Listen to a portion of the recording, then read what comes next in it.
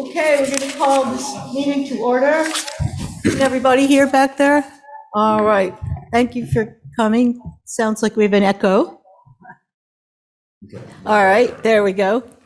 So this is the um, focus meeting of the Select Board. Today is March 14th, 2022.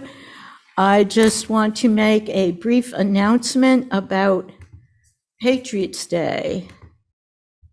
Find it right here. Ah, where's it? Put it on here. Oh, here it is. Okay, we are going to be having the Patriots' Day um, events this year. So thanks to the Celebrations and Ceremonies Committee and, and Henry Dane, um, we are getting going on that. And um, the Merriam's Corner event will take place a week before, which is Saturday, April 9th. The Patriots' Day Parade will take place on the state holiday, Monday, April 11th, um, I mean 18th.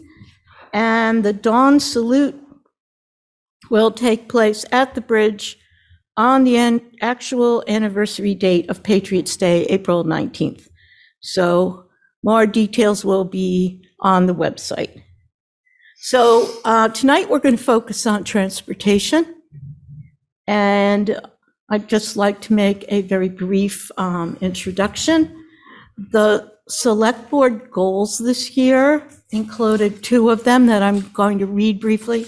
One is to implement and identify and implement opportunities for enhancing transportation throughout town to support economic, social equity, and recreational needs increased use of shuttle buses, school buses, on-demand transportation, the rail trail, Assabet River pedestrian bridge, and village center wayfinding improvements.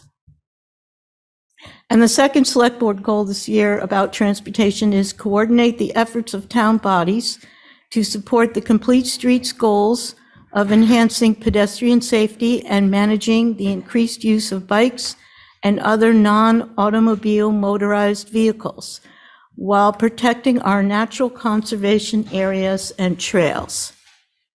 So tonight, we want to begin a conversation about how we might improve the quality, quantity, effectiveness, and safety, not necessarily in that order, but um, improve our transportation and mobility in Concord. Let's start documenting what we do have, who's well served, who's not. Let's start collecting metrics, traffic volumes, safety data, what can be quantified. Let's see what other communities have done. We don't need to reinvent the wheel. And um, we're very pleased to have here with us tonight the new Transportation Advisory Committee, which has been working really hard and meeting almost weekly, working on all of these issues since November of 2021. They are an energetic, hardworking group and eager to hear everyone's input tonight. The members are Chairman Nick Pappas, Norman Abbott, Kathleen Ogden Fasser, Dan Schrager, Laura Davis, Phil Posner, and Michelle Cardinal. So without further ado, I'm going to turn this over to Nick Pappas, the chair, to uh, give us an overview. Um, And after he speaks, we'll hear from some um, senior management team people. Then we're going to have a discussion, and we'll conclude the meeting by trying to put together the very beginning of an action template. Hi, thank you, Terry. Uh, yeah, I'm Nick Pappas. I'm Chair of the Transportation Advisory Committee. And uh, main thing I'm going to do tonight is show you uh, our committee's thoughts on a roadmap, as it were, for transportation. And uh, big, it's a big thing, as you could tell from the list that Terry went over. In some ways, it's very ambitious. And uh, the real question is, why do we need it? Seems like I should talk about that first. And um, the world has changed, is the basic answer. Uh, if you look back 15 or 20 years, the world's, the US's transportation plan was roads and cars. That was it, especially in the suburbs. And the suburbs were built around that with malls and strip malls, and it, it, it wasn't great, but that's what we had. But the world has changed, and we have a need for more sustainable solutions to transportation. We have a need for more equity in transportation. And that uh, brought us to the uh, work of the Long Range Planning Committee, the Comprehensive Long Range Planning Committee that I was on. And when we looked at transportation, next slide. When we looked at transportation, um, the first thing we realized was that uh, we didn't have, a as a town, we did not have a comprehensive transportation plan, nor did we have a funding mechanism. If we were going to do big projects, there wasn't any pipeline of money that we could look to to, to fund those projects. And in doing our work, the first many months of the of that committee, the Long Range Planning Committee, we collected input, website, meetings with people, all sorts of things. And we heard a lot about transportation, about traffic, about parking, about equity, about lack of service, and uh, we collected it all. And the result was when we documented this, the transportation and mobility section of the long range plan, uh, the first goal was to implement a focal point of in, uh, in-town government.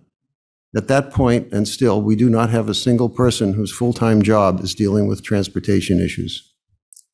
And uh, to implement sustainable solutions, it was clear that we did we needed to go in a different direction than the historical approach. That we needed sustainable solutions. We needed. Um, I'll talk about that more in a minute but also equity, provides service to the underserved. There are many people, whether they're workers in retail businesses, uh, people who are economically disadvantaged, the elderly, students who don't have licenses, or others, or the handicapped. You know, we need transportation and mobility solutions that serve everyone in the town better than the traditional automobiles and roads. And we need to support local businesses the solution, you know, there, there, were many of the, the comments that we received in the committee were, were about um, were about the needs of small business. And also, we need to do it in a way that respects our history and our natural environment in Concord. So, um, so we came up, we've worked for the past couple of months, three months now, on coming up with a roadmap to what are the key things that we think in the Transportation Advisory Committee that need serious consideration.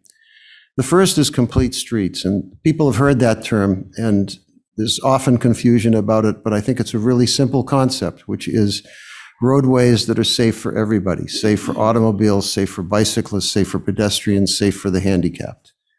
You know, we don't have that. Um, the street I live on is frightening in that regard. There are no sidewalks. Um, also, uh, we need to define the areas of need. And, and the thing we're pointing to here in the roadmap is that we need a comprehensive approach to complete streets. We need, we, we can't approach this in a piecemeal fashion and do this intersection this year and another intersection this, this next year. And the design standards have changed and that, you know, they aren't the same. People can't expect the same sort of anything. So we need an approach. We need an overall design for how we're going to approach the, this multi-use of the streets. The second thing is ride services, and there are three parts to that. Uh, one part is a fixed route bus service. We actually, uh, the planning department, Marcia Rasmussen, obtained funding shortly before the pandemic for, for such a service. And unfortunately, because of the pandemic, the funding was, was uh, taken away. But that would have been a service and should be a service that does something like the following. She had a route laid out that would run from West Concord Depot, out Commonwealth Ave to the prison, over to the Baker Ave extension where the medical community is, over to Emerson Hospital, across Route 2 to more uh, medical establishments, the Thoreau Business District, Concord Center, out Lexington Road to Merriam's Corner, and ultimately to, uh, to Virginia Road where there are other businesses in the school. That would have been the core. And that is something that people could rely on. And it would be useful to visitors, it would be useful to workers, it would be useful to many people. The second part of ride services would be uh, bringing back to life the Crosstown Connect, a regional approach to transportation. We need a way for our residents to get, get other places outside of town, whether that's to shop in a mall or get to doctors or get to Alewife, which is a whole different transportation nexus than commuter rail. We need something like that. And we need to help the, the other communities involved in Crosstown Connect bring that back to life. And finally, the third component, on-demand services. A fixed-route bus service is great for the populated areas where there's high density, but it does nothing for the residents in the other parts of town where density is lower. It also, there are other needs that a fixed-route bus service just doesn't meet that we need to consider as part of an on-demand service. And on-demand service is being done now in Newton. It's being done by the Berkshire Regional Transportation Authority. It's not a wild idea. It's something that's being piloted. And, you know, we have to learn from that and figure out how to apply it in Concord. And finally, these things, these ride services need to be connected with other things. Their schedules and need to be meshed with things like commuter rail and any other services in town. Another part of the roadmap is transportation for students. Frankly, we have a school bus design approach that's optimized for elementary school. And unfortunately, once you get to middle school and high school and you start doing extracurricular activities and sports activities, we really don't have good solutions. My granddaughter is in the sixth grade in the middle school. When she does an act- after school activity, the bus will drop her off two and a half miles from the house with no sidewalks. Try that in the winter. Try it anytime. It's hard to convince an 11 year old that's a good thing. Uh, and you know, also there was a demand. You might recall. I think it was three years ago. There was a, a warrant article to put more parking at the high school. Why? Because partly, largely because the the bus services don't meet the needs of the students. So you know, we need to work with the school departments to figure out how to how to deal with that.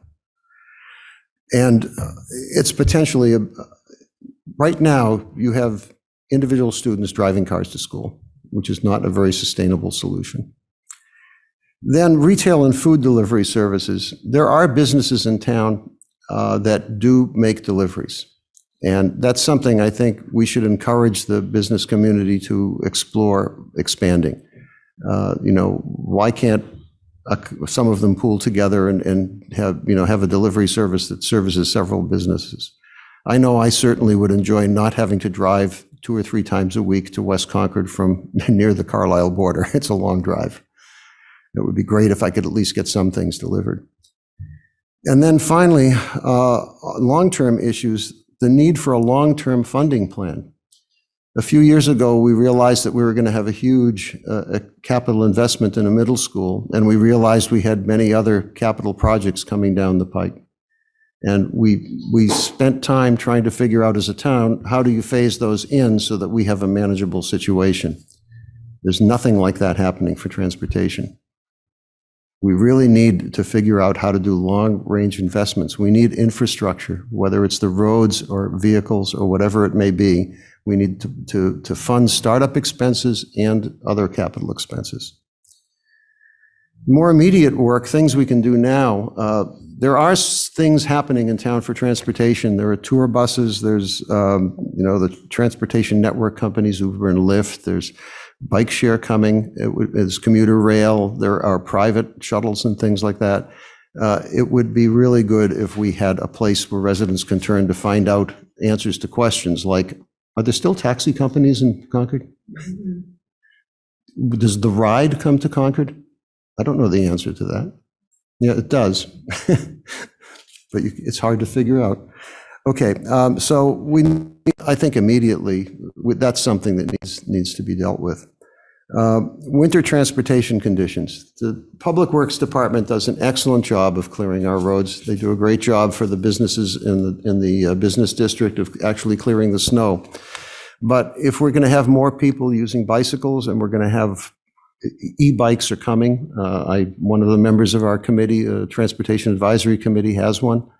And uh, the police department, the police chief tells me they're expecting many more of them. We need, we need to find out what we need to do with the roads and the sidewalks to make, make um, make wintertime a better time for getting around. Uh, Road safety.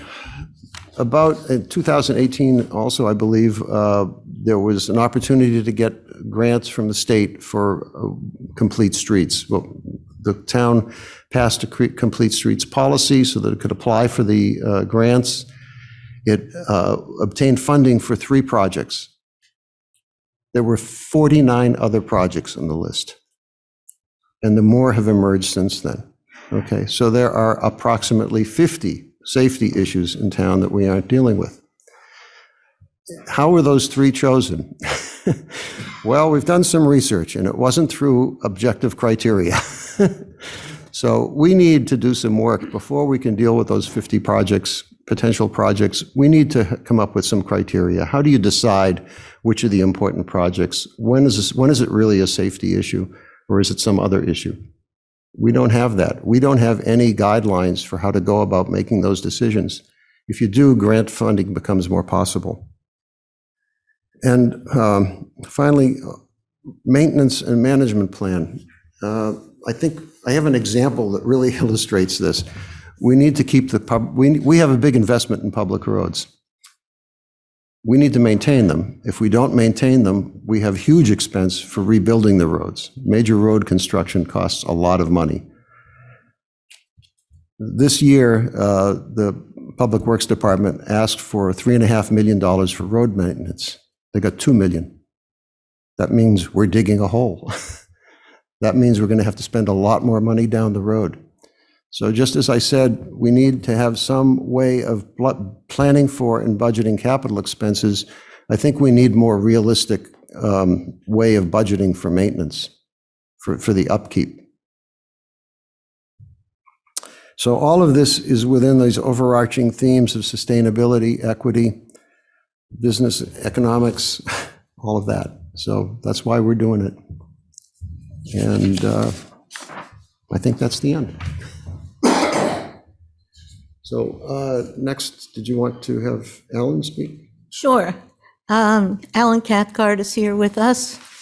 And then we may have some other SMT people um, via Zoom as well. Thank you for coming tonight, Alan. Sure, you're welcome. Um, Alan Cathcart, Director of Concord Public Works. I think on the Zoom in attendance, we also have the town engineer uh, and assistant town engineer as well, so they're kind of listening, obviously.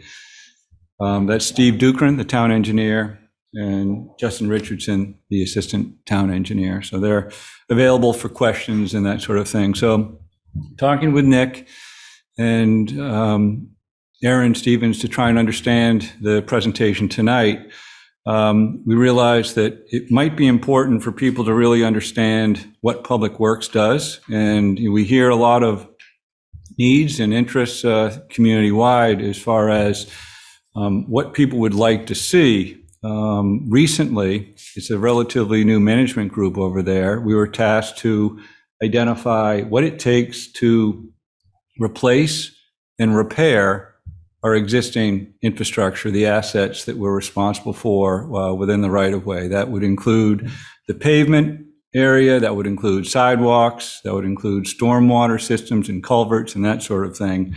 Um, I thought it might be helpful as we developed that plan. The other thing that I thought was very wise wasn't asked to do a a long range capital plan. So it wasn't just hand to mouth, but over a five, 10 year period, what would it take? Uh, we went through that exercise, and if I can um, share uh, the screen, I will um, just bring up a table that might be helpful um, for people to see. This is actually the Article 10, where we talk about sort of the more significant capital improvements debt plan. When we talk about uh, public works, there's one section that deals with capital outlay, and you can see somewhere in the tune of, um, you know, $600,000 or so that we're looking for, for asset management, uh, striping, signage, uh, replacements, that sort of thing. Um, Alan, can you make that a little bit bigger? Yes, I can. Yeah, Thanks. Yeah. Can you see that? Can There you go. guys see that? Do you want it big, bigger? Okay. And then you go down to really where we have the bigger money, And you're looking at, uh, this is where the debt and borrowed funds, we've identified uh, traffic improvements, pavement management, culvert bridge repairs, and vehicle heavy equipment uh, replacement. What's interesting is it looks good um, on the warrant. What we need to, you know, understand is the request that was made when we uh, put together the five-year plan. And this is very important, and I think it's a really important slide to show people. And I used this at the pre-town meeting review uh, for the articles. We're looking at, for Public Works, a request of $34 million over five years. It's all inclusive. What's important is these are to repair and replace existing assets. We had it identified year by year, and really, I would take the roll-up of some of the larger, you know, expenditures. When we look down here in this section, we have $20 million here, um, that's here with pavement management. That's to restore the condition of the road that people drive and, and sort of expect as far as uh, maintain in a way that you don't have significant potholes, that they're not deteriorating to the point of complete uh, uh, disrepair and uh, a reclaim or something. Uh, that's a lot of money. We understand that. Our task was not to say, what can we get? The task was to the community, what do we need? And that's what we presented. So we have some funding, which is good for culverts and bridge repairs for FY '23. We have funding for, as Nick mentioned, the pavement management. It wasn't 3.5 million, but it's 2 million. We'll make a dent. You know, We'll start, you know, uh, uh, making improvements. I think people will see. It's significantly more than we had in the past.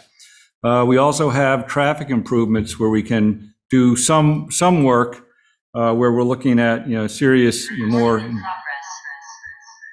sorry. Um, Don't know who's, That's me. Okay. But if I'm, if I'm muted, uh, no, go to your speaker on the right, lower right.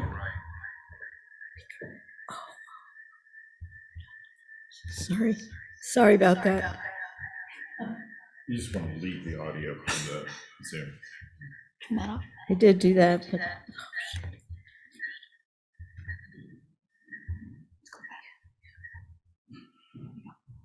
I'm going to Sorry. try that. Okay, Okay. great. Okay, we're there. Yep. But what's interesting is, again, this is to repair and replace existing. What we don't have is funds, and it's, it's realistic. There's only so much money the town has. We understand that. And they have to divvy it up based on all the department needs. We don't have money in our parking lot uh, request, which means that when people ask, what about the commuter parking lot over in West Concord? There are no funds, at least in FY '23, to do any work, whether it's design, construction. Um, The pedestrian bike improvements, we'd asked for $537,000. Seems like a lot of money. We've recently reviewed a request through the West Concord Advisory Committee where they did a very deliberate, detailed assessment of the conditions just in the uh, Junction Village area. And when I bring that up, it's all very reasonable. It's, this is sort of taken from their presentation, but, you know, what do we need to do with pedestrians' bike conditions in West Concord Junction today? And I go through the slides, and they talk about a, a, trip they took. It's a fairly small area, but uh, very well attended by different uh, boards, committees, representatives. This is the general area of their, you know, focus area. They identified crosswalks, sidewalks, bike accommodations, signage, speed issues, all of which our engineering division have also identified. The difference is the engineering division has to identify and prioritize where are we spending the money. We would agree with this group that there are significant needs. What they identified, which seemed very reasonable, are can we do some, you know, crosswalk improvements? Um, if, if you look, um, we have representatives here sort of identifying these problems for us, and they are significant. And the town has identified these problems for decades. This is an example of the Main Street um, bridge, you know, by, over the Assabet River as far as its configuration design. You know, where should we focus? It's fascinating that when we look at all the needs that they identified, the engineering division, I said, can you give me a back of the envelope cost estimate if we were to take care of those needs? We're talking about a million dollars for that work. What's important is if I zoom out and show people, this is the town of Concord. That's the West Concord Junction area of assessment. That one area is a million dollars, and that doesn't address all of Concord's needs and interests. So the challenge for Public Works is when people point out things that are obvious to us as well, but we, meaning the community, doesn't have the resources to spend money you know, towards them. So we go through a budget cycle, and all we can do at Public Works is identify the need and then be prepared to respond to the customers and citizens when they come back in eight months and say, where are we with this project? Well, right now, the answer is we're dealing with certain aspects that have been, it's already prioritized. We're going to take, take care of the pavement. We're going to take care of the culvert work. We're going to do some traffic improvements, but we don't have funds to do some of these other, what people might say are nice to do. I'd say they're need to do.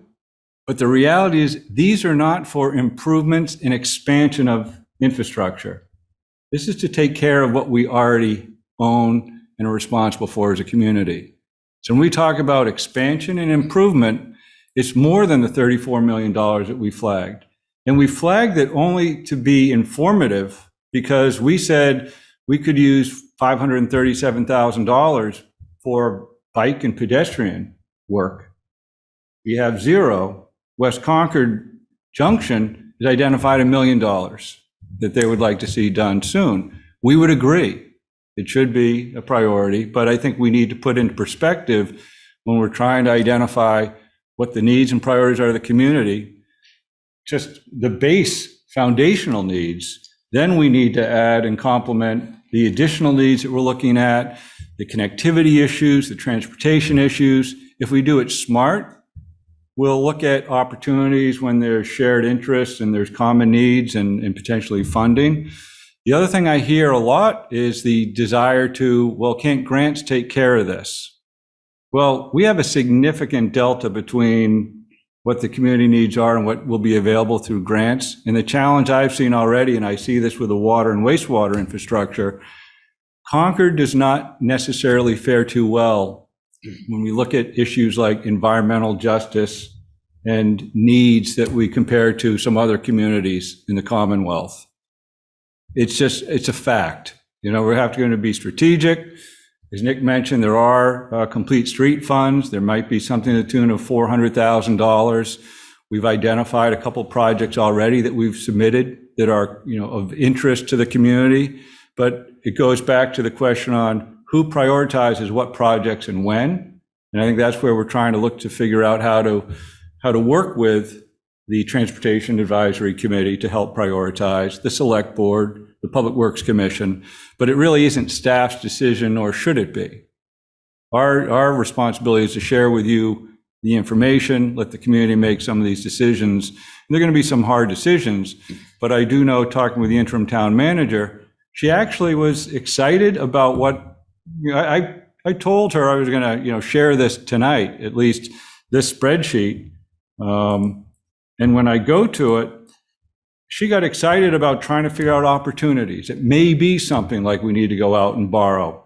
And maybe we do a significant borrowing for a five-year investment. So you will literally see these, these um, replacements and potentially improvements. When you do a crosswalk, maybe you can take that time to supplement with grant uh, funding. Maybe we can do something creative and different once we uh, identify uh, an area that we're going to be putting this, you know, the, the funds towards. So that's just a overview of public works. I think we're best when we have a real project and it's funded. We are not great with the planning. That's where we need the support of the community and, you know, working with the planning department and the uh, TAC. Um, and I do understand there's an interest to try and bring someone involved, uh, a professional transportation uh, whether it's a planner or engineer, or even work with professional consultants to evaluate what we have, like the existing complete street list, figure out if it makes sense. I know it's incomplete when I listen to the residents and hear some of their interests. All of their interests are not captured on that complete street list. And we want to make sure we have a mechanism where when they ask, we can say, yep, we haven't heard that one. Maybe we can screen it. Maybe we can present it to the TAC for inclusion on that list. That would be a great way of sort of having a very transparent um, list where people could look at. And if they haven't thought about it, or if they see, okay, it's on the list, but it's number 33, what can we do about that? Well, 33 may become number two if it complements another project that they may not be aware of. And those are the things that staff and I think the uh, town uh, decision makers can, can work towards. So hopefully that's helpful. That's very helpful, Alan. Thank you very much.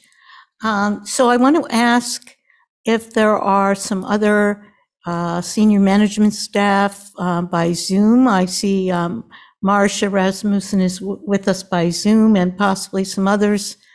Uh, Whether any of you um, senior management staff would like to say anything. Madam Chairman, I would be, um, I'd like to have a few words to offer. Um, Marcia Rasmussen, Director of Planning and Land Management. And uh, planning has long been involved with transportation. I mean, it was one of the topics of the 1987 long range plan. It was a focus. Uh, there was a transportation planning effort in 2000 that focused on uh, traffic, uh, traffic calming primarily. Um, and then there have been different pieces or components of all of this. Concord is the layout of Concord is a is like a wheel. All of the roads were were spokes, and the hub was Concord Center, it's because they wanted traffic to go through the center. Um, the community advocated for two train stations. That, that was remarkable. We have two commuters train stations. It's really phenomenal that we are that that fortunate. But come with with that comes a fee. Uh, the town pays the MBTA $500,000 a year for the privilege of having a commuter rail, these two stations in Concord. And it's based on our service through those, those, uh, through those stations. And as a result, Concord residents benefit from the use of the ride, which is available for those who, who need alternative transportation to get from point A to point B. Um, I don't have the exact numbers at my fingertips, but I believe it's like four to 5,000 trips per year that, that either um, start in Concord and go to other parts of the Commonwealth. Um, and it's a low cost, well, it's a relatively low cost way of getting around. So, so planning has long been involved with all different kinds of planning efforts and looking at long term, how do we connect people to where they want to go. Uh, in 2016, we worked with the Central Transportation Planning staff to look at first mile, last mile that was focused on West Concord. And, and through that, we, we, we realized the plan from 2012 that's identified the need for a pedestrian bridge over the Assabet River to connect Baker Ave with the West Concord train station might be a possibility. And so we've slowly and incrementally designed how that could work. And we've requested more and more funds. And if we can connect it in a way from public point to public point uh, so that it's publicly accessible for all, then perhaps we can get it on the transportation, um, the state's uh, transportation improvement program so that the construction would be funded through the state. It costs money. Um, the Bruce Freeman Rail Trail was envisioned back in 1987 it wasn't until 2004 when we did the environmental assessment and, and the Friends of the Bruce Freeman Rail Trail slowly got the community preservation funding for design that that has evolved. And we will see completion of the bridge this July uh, 2022. That's a, a, a long time period to bring different areas together. Transportation is not a not fully or not wholly a Concord issue. It is a regional issue. The, the difficulty is that we're we're in between different regions. Uh, there is the Route 128 corridor and there's the 495 corridor. we have been partnering with uh, communities to the west of us for the Crosstown Connect. That was an evolutionary process where uh, we were invited to a program back in 2010. Um, and from that grew the, the, the concept of Crosstown Connect, which is a transportation management association. And it, it involves our communities and our businesses that are in those communities. Concord has not been able to be a full participant because we don't have a vehicle or a transit, any kind of transit device to offer uh, to become part of um, a more robust crosstown connect. And then the pandemic came along, and that has uh, the value has um, gone by the wayside because people are not taking public transportation right now. So that is sort of in hi- the CTC is is in hiatus right now, um, and so we're we're I guess planners are a little bit opportunistic. When we see a grant, we say, is there is there a need that we can address with through this grant? And so we've gotten pieces of grants. We've gotten funding for bike shelters and bike racks, and we have looked at um, how can we do these shared spaces and so that's funding our bike share program and some improvements on old marlborough road to address some safety and some bicycle issues and we're looking at how can we make all of these work becoming aware talking with public works i think we're going to be in a stronger position moving forward as we do our planning but um, I, uh, the, the whole complete streets issue Planning has been advocating for complete streets since, since this became a buzzword back in 2015. And it wasn't until 2018, 2019 that Public Works actually said, yes, we're going to do this. And so they were able to get some funding to do some of the projects. But as, as Alan said, there's a long list of what needs to be done. When we look at the overall um, improvements that are being done around the community, uh, the, the, great thing is that public works looked at okay if we're going to be making improvement major improvements in a street what else needs to be fixed you've got water you've got sewer those are all underground. Sometimes you have electricity all underground. How do we incorporate all of those? And that increases the cost of different types of construction activities. Um, so i think that's my 10 cents for tonight. And uh, the, you know if you have other questions I'd, I'd be happy to answer them. Thank you, Marcia. Are there other um, senior management people, um, perhaps Kate, um, if you want to add anything, or anybody else on Zoom? And then after that, we'll turn to um, some other people from the Transportation Committee and other committees. Um, Sure, I can, Kate Hodges, Deputy Town Manager. I- I suppose what I would add um, is really from a human services perspective. And, you know, I would say that the Council on Aging does a really great job of making sure that we are providing um, rides to seniors as they need it for various things, um, not just medical appointments. They do a lot of um, out of town shopping, et cetera. We don't have any real data um, on those who might need rides under the age of 60 for whatever reason, either because they don't have a vehicle or their vehicle is in a state of disrepair. We just don't have that type of data. There was a thought um, with a couple of the programs that were coming out pre-COVID that that might provide us some data, but it didn't. And so we keep hearing, um, we meaning the town, keeps hearing that there's this need. Um, and I'm not saying that there isn't, but we don't have any data points for that. And so I think that it would be important as we explore it to really understand what the need is because I would hate for us to put a lot of emphasis on you know something about rides uh, for people under the age of 60 if there isn't a need for that. Um, and the other thing is uh, what we do understand is uh, folks who are being discharged from the hospital. And that's been something that's been brought up both at the disability committee level and at our human services meetings. Um, we have a policy that uh, we don't bring necessarily people home from the hospital because the discharge instructions often say that they need to be have somebody that's at their home to be able to care for them. And so we don't want to pick them up and drop them home when they're alone. We also don't necessarily know if the discharge from the hospital, what it's for, nor should we. um, but whether there's medication or, or other things like that. So um, I do see that as a need. I just don't know if it's really the town's um, responsibility to be able to to deal with that and the liability associated with that. But it could be that there's a service that that that does happen. So those would be the things that you know maybe weren't covered. Okay, thank you. Is there any um, other um, staff person on, on Zoom? Um, Do, you- does anyone, I can tell you that Ginger. Ginger Quarles from the um, Council on Aging, she's the Council on Aging Director, is here if you had any specific questions relative to that.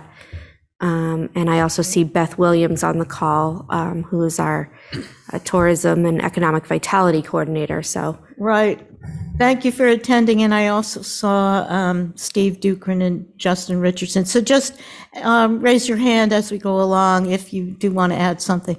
So at this point, um, is there anyone else from the Transportation Committee that would like to add anything? Uh, Phil, uh, come up to a microphone.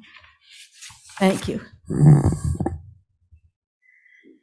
So I uh, just wanted to say thank you to Nick and to Alan and to Marcia and to Kate and the others on the staff uh, and volunteers who've uh, put in their time with respect to this issue. I think we really have a terrific start. Um, The only additional thing that I would like to reemphasize is that as the town proceeds, uh, I think it's very important for safety uh, of pedestrians, cyclists, and other folks who are using the roads be included in considerations as we think about design, think about priorities. Thank you. Thank you. Okay, uh, all right. Are there people from other, um, well, let's start with the select board then, and then we'll go to some other committees who might be attending by Zoom. So do members of the select board have questions or comments um, based on what we've heard so far tonight? Matt? Sure. Um, I have some questions for Mr. Cathcart. So uh, the first is, you had said that the, was a million dollars worth of work for West Concord uh, Junction itself. Um, But just not to uh, confuse things, there is actually a funded project that's expected to be done there this year, right? So even though there, it's not going to be the scope that you pointed out for a million dollars, there, there will be curbing and crosswalk improvements, other thing, cur- calming that's happening this year. Yes, thank you uh, for that clarification. There is, as part of the Complete Street grant that we've already received, and the engineering division has gone through final design. And we reached out to West Concord Advisory Committee to inform them of a tentative uh, sort of plan and schedule for this summer's construction. So that is planned and, and um, will be bid shortly. Okay, thanks. And then secondly, uh, while Concord doesn't necessarily fare all that well um, with grants, and I mean, as we saw uh, with uh, the ARPA funding, we, we did get some money. And I assume with the uh, infrastructure grant that we should get perhaps even a bit more money because the total bucket of money is more. I don't know. Um, I saw that that Massachusetts is getting approximately $9 billion. Do we have any inkling of what we can expect and how that might help bridge the gap that you've identified here? Not at this time. The only information I do have that's concrete is the water wastewater funding, which we uh, put in for, it's going to be distributed from the federal government through the state revolving fund. Uh, And we're familiar with that process. That's the only vehicle that exists. And Concord did receive a favorable um, response. We're on the list for the NAGOG treatment facility. When you look at how we rate, many of the other communities that are eligible for SRF funding are getting potentially um, uh, principal forgiveness and grants for their work. Concord has been identified because we don't fit any, the needs categories as a low interest, which is still very good, especially given the economic climate today as far as how volatile it could be. So it's something, but I'd much prefer having the principal forgiveness or grant. Who wouldn't? A third question is that, uh, of course, our own town funds for our transportation infrastructure are only a piece of the puzzle. That there's also the state that has things on their transportation improvement program or the TIP. Um, and there's, of course, state-owned infrastructure in town. So I guess my question is, what projects do we have on the tip um, from Public Works? Um, And then what other, you know, projects do you anticipate, you know, that the state's going to be doing here um, that may help the situation? So it's premature for me to give you any direct um, knowledge, with the exception of we have talked with Mass DOT on potentially rotary improvements or upgrades that they've been considering for many, many years.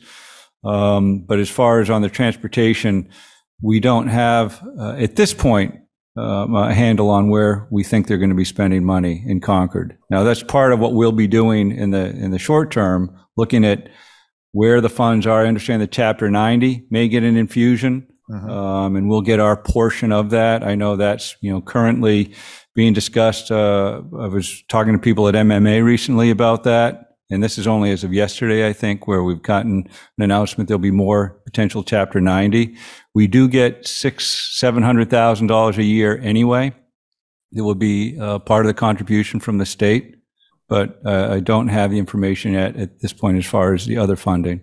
But there must be a list of projects that are on the tip as it stands today within the boundaries of Concord. Alan, if Yeah, I may? Yeah, Please, Marcia, if you can, yeah. Well, uh, there are three that I know of. There's Route 2A improvement, safety improvements, uh, which is at the Lincoln Concord line. Uh, There are safety improvements at Baker Ave. And then there's the f- completion of the Bruce Freeman Rail Trail, uh, Phase 2D, the last half mile in Concord, that I know are on the tip and are funded um, within the next two to three years. Uh, Okay, as- but not as- like Elm Street going to the Acton line? No, Okay. not, that Um, is not on the tip. And, and Marcia, I'm not sure if Steve Dookran, if you're available, or if you have any other information you might want to share as far as the town engineer.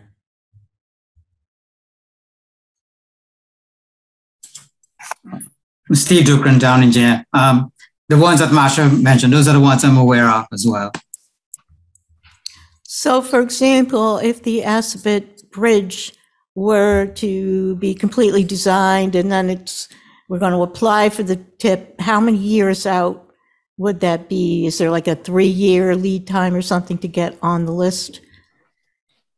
I, I think it's variable, isn't it? I mean, they, they, they can shuffle the deck at any time. I For am- that bridge, it, it would, you're absolutely right, um, Matt, that, um, it would, again, be opportunistic. If a major project could not go forward because they weren't, another community had not completed design of the major project and the funds were available and the bridge was ready to go, they could insert that in an amendment to the transportation improvement plan. All right, thanks. Okay, great. Other questions from board members? Linda? This is um, for anyone from senior management who wants to answer this.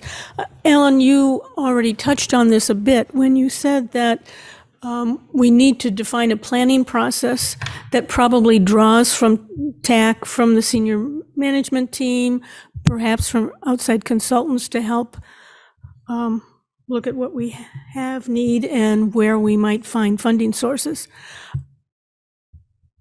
Um, is there anything else besides that that, that- you know, I think we've done a, a remarkable job in terms of going after what state grants we can go after, but that's time from everyone. Um, and as you've pointed out, you know, it's not always successful after a lot of effort is put into this grant writing. And then the size of those grants is not significant necessarily.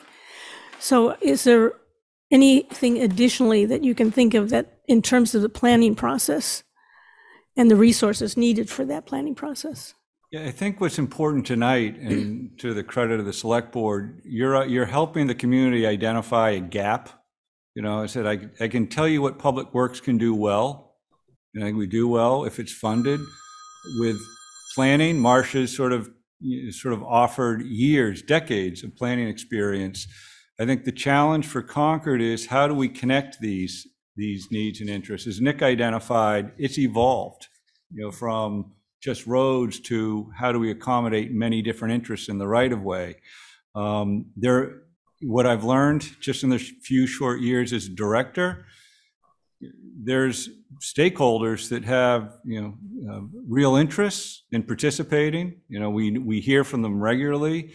Uh, the challenge is the uh, general public who doesn't tend to think much about these to help them understand what it is we're trying to achieve. Um, They're the ones who ultimately have to, you know, fund these things. Certainly, we're looking for grants, but as, as Nick mentioned, sort of when we were talking at one point, we can't just rely on that. It may help infuse some of the, the, the needs, but we need to maintain what we have. And if we're going to expand upon what we have, we need to identify there's going to be costs, not just for the expansion. People like to think about the nice new kitchen, but that will sort of over years require replacement, rehabilitation. Anytime we add to our system or the services we're providing, for instance, winter maintenance needs, you're talking uh, operating costs as well and future replacement costs. So our job is to identify those things, share with the community, and then make decisions based on, you know, not to freeze, but to say, let's do something. And Concord in the last 10 years has done a lot on planning, a lot of thinking in vision, right? Well, now we need to start going from where we are to, well, what's realistic with these, these goals? And how do we fund them? And if we're not going to fund them, I think we have to be realistic with the community that we're not doing these things. Right. But we keep talking about the vision without funding it. And so I could be, I would be confused if I was a citizen wondering, well, where is all these improvements? Right. And I have a follow-up to what Linda was asking. So, for example, you talked about complete streets, that we need a criteria. We have 50-something on the list, and there's probably more that we don't even know about. So what kind of process do you want to see um, so that you guys end up with a really good list and you can just start, all right, number one, let's apply for a grant or use chapter 90 or whatever, and let's knock off number one, let's knock off number two. What kind of, how do you see us coming together to get that criteria to make a, a good list? we need support. We need to have the right staff at the table, and it's not existing because the existing staff are already doing things. They have assignments. Um, we may need to supplement that with uh, consulting support. I've talked with Steve Dookran at length about this, and basically the consideration of do we bring a third party in to look at our complete streets to help us start connecting the dots with some of those priorities we've already identified help us understand a ranking criterion that we might want to look as new information comes our way or new projects or initiatives so we can screen it. So we use a standard process. I think this was done. The challenge is what we haven't conquered is a lot of transition. And Marcia is, you know, one of the more senior, experienced uh, uh, uh, um, managers we have.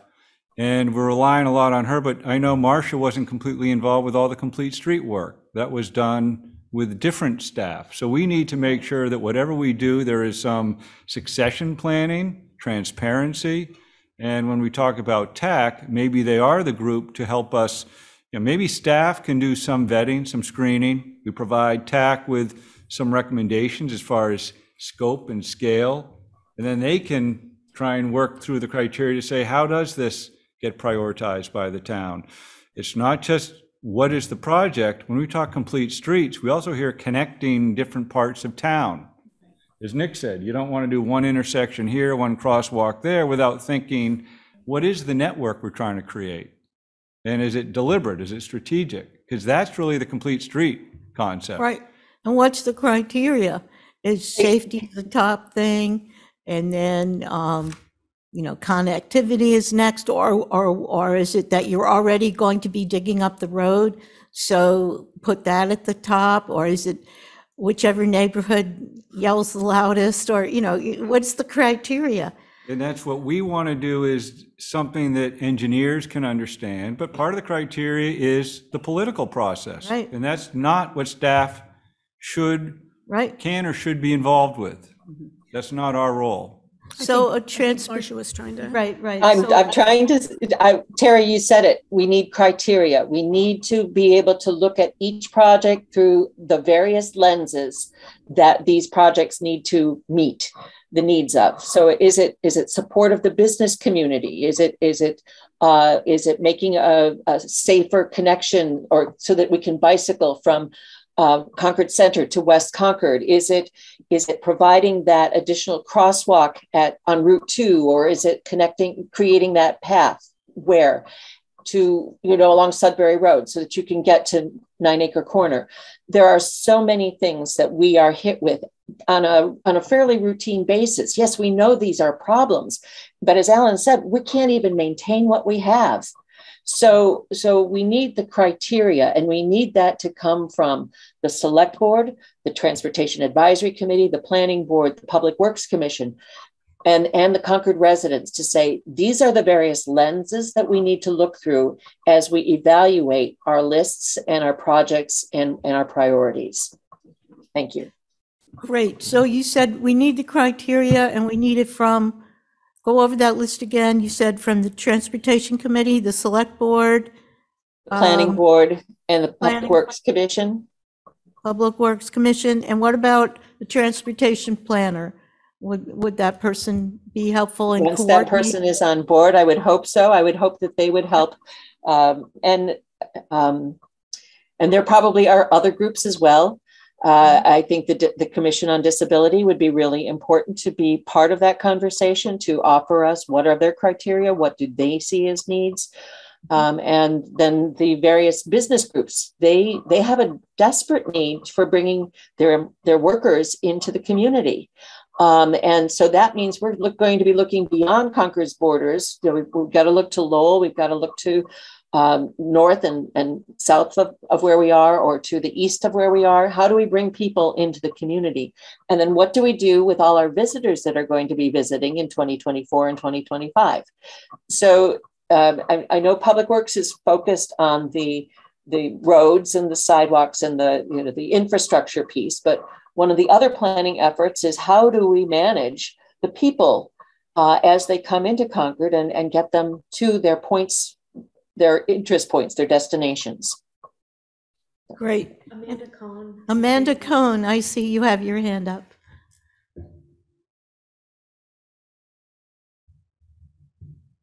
You're muted, Amanda. Amanda, you're muted. You gotta Thanks. start, start again. Um, I just wanted to add that all of these topics are also really important to Sustainable Concord and um, are supportive of our efforts of reducing emissions and transportation. Um, and as an urban planner, I couldn't agree more that we need to prioritize um, the projects that we know about. Uh, but I also want to balance that with the federal funding that's coming down the line. Some of it is going to be asking that the projects are construction ready. Um, and so some of the projects that we're already aware of that, you know, the 50 that are in the list, are there some of them that we can get designs for now so that when the funding is available and you have to have a shovel ready project, that we have some of those that are in the pipeline. Um, so it's a bit of a balancing act, which maybe touches on what Alan is saying. We need people that are doing the planning, that are doing the design, and and then are managing projects through the construction, um, and making sure that we have projects really that are each of those three stages, so that we are nimble based on the different grant requirements. Um, so I just wanted to put that piece out there, and I always, you know, back to the numbers, Alan. I think you put out a num like six million per year is needed for our current this maintenance of roads. And if we say Concord's an average community in Massachusetts, there are some that are bigger, there are some that are smaller. and say 6 million per year is is what every community on average would need. There are 351 communities in Mass. That's $2 billion a year um, just for maintenance. And so when we hear, you know, 9 million is going to be available or billions are going to be available, we have to sort of put it in the context of who's competing for those funds um, when it is coming even from the state and the federal level. Um, they sound big, but when you divide it over so many, it starts to go fast. Thank you. Thank you, Amanda. Uh, Linda, did you have some other questions? Um, Or was? Not right now. Okay, Yeah. Henry, do you have some questions? Looking at the list of projects um, and the effort that goes into hiring consultants, paying consultants, and I think the enormous amount of staff work that must go into um, kind of pl- planning for projects that never get done for one reason or another, that there's a lot of wasted money and motion that takes place because we're prioritizing these things at the wrong end. It seems to me we ought to be prioritizing these things before the work goes into applying for the grants and hiring the consultants and rather than having a list like the one we have here of more than a dozen projects, most of which will never get done, and we try to prioritize them after all the effort and money has been spent. And so um, the question is how do we prioritize them? I think that that's a, that is, as you point out, is a political decision. Um, Political in the best sense. I don't mean like, you know, fix the street that I live on. Uh, Political in the sense that somebody has to make the decision, and we can't really delegate it to the town employees unless we had a town employee who was like a director of public works who had the discretionary power to make all the decisions. And I don't think we can delegate it to the planning board or to the transportation advisory committee. All they can do is provide us with information, which is what we're doing now. And then somebody has to make the choice um, among which projects we wish, wish to pursue. Um, and by attempting to be opportunistic and being ready for every opportunity that arises and have dozens of shovel-ready projects that may or may not get funded, uh, we're not really being efficient about this. So are you suggest, what is you, are you suggesting then for the process?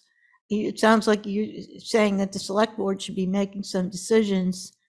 Um, uh, How would you go about starting that whole process? I think if it's, if not the select board, I don't know who else really. This is a kind of a, a, a pyramid with somebody at the top that has um, uh, the ability to make deci- decisions, at least subject to the approval of the town meeting, Right. which appropriates the money. But I think that somebody has to um, take the leadership role, as it were, and and um, make decisions. Uh, Right. uh, and without, I think, I think that, um, um, if you will, um, uh, making a list of uh, criteria uh, doesn't really help that much. For instance, you said, what is their priority? Should they be safety? Well, safety is always a priority, but you can never, never spend enough on safety. I mean, because accidents will always happen, systems will always fail. Right. You can make, you can, you know, you can make people drive around in a tank, but that won't get people anyplace. Right. So I So, think that we agree with you, but the, my question is, how should the select board approach this? What, should we have some goals for next year? Should we ask staff to come back with some drafts? Should we ask the transportation committee to do some research? What, what do you want to, that sounds like a good idea, is to, we, is to, is, is to get um, proposals from the various um, employees, management people, and committees um, about, um, about what they think are the most important things for us to do and in what order. And we could evaluate that, and then we can try and get that stuff into the budget through the town manager and get those things approved and maybe pick one or two things that we really can do. I mean, we have a Transportation Advisory Committee. They came to us tonight. They identified a set of more or less abstract priorities.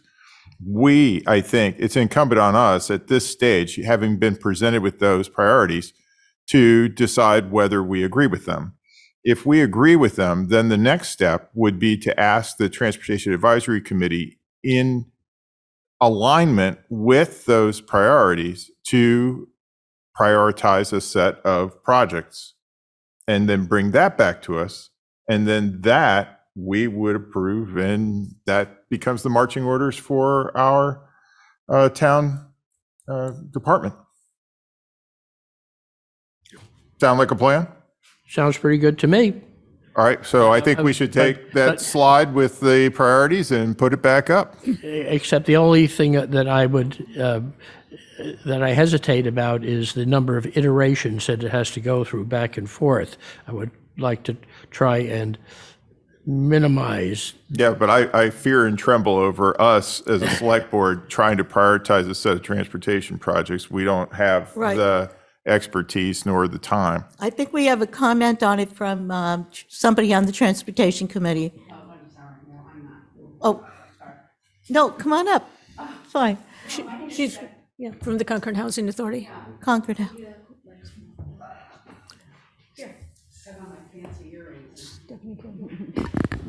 No, my name is Stephanie Krobeck. I'm the vice chair of the Concord Housing Authority. Um, and um, I guess my comments actually were to finish, uh, I, wanted to finish what Matt was saying, and that is to the extent you identify what your priorities are, comma, then that becomes your your story, your pro, your your your detail when you go advocate for dollars. I think, and I see this on the Housing Authority too, we need to figure out how to go get some of that ARPA money and that infrastructure money and get our state legislators here to help us with how we can get that because part of what I think we're struggling with is we're going to be in this do loop all the time of really not having enough dollars to do what I think are some of the bigger broad reaching initiatives that we're talking about here.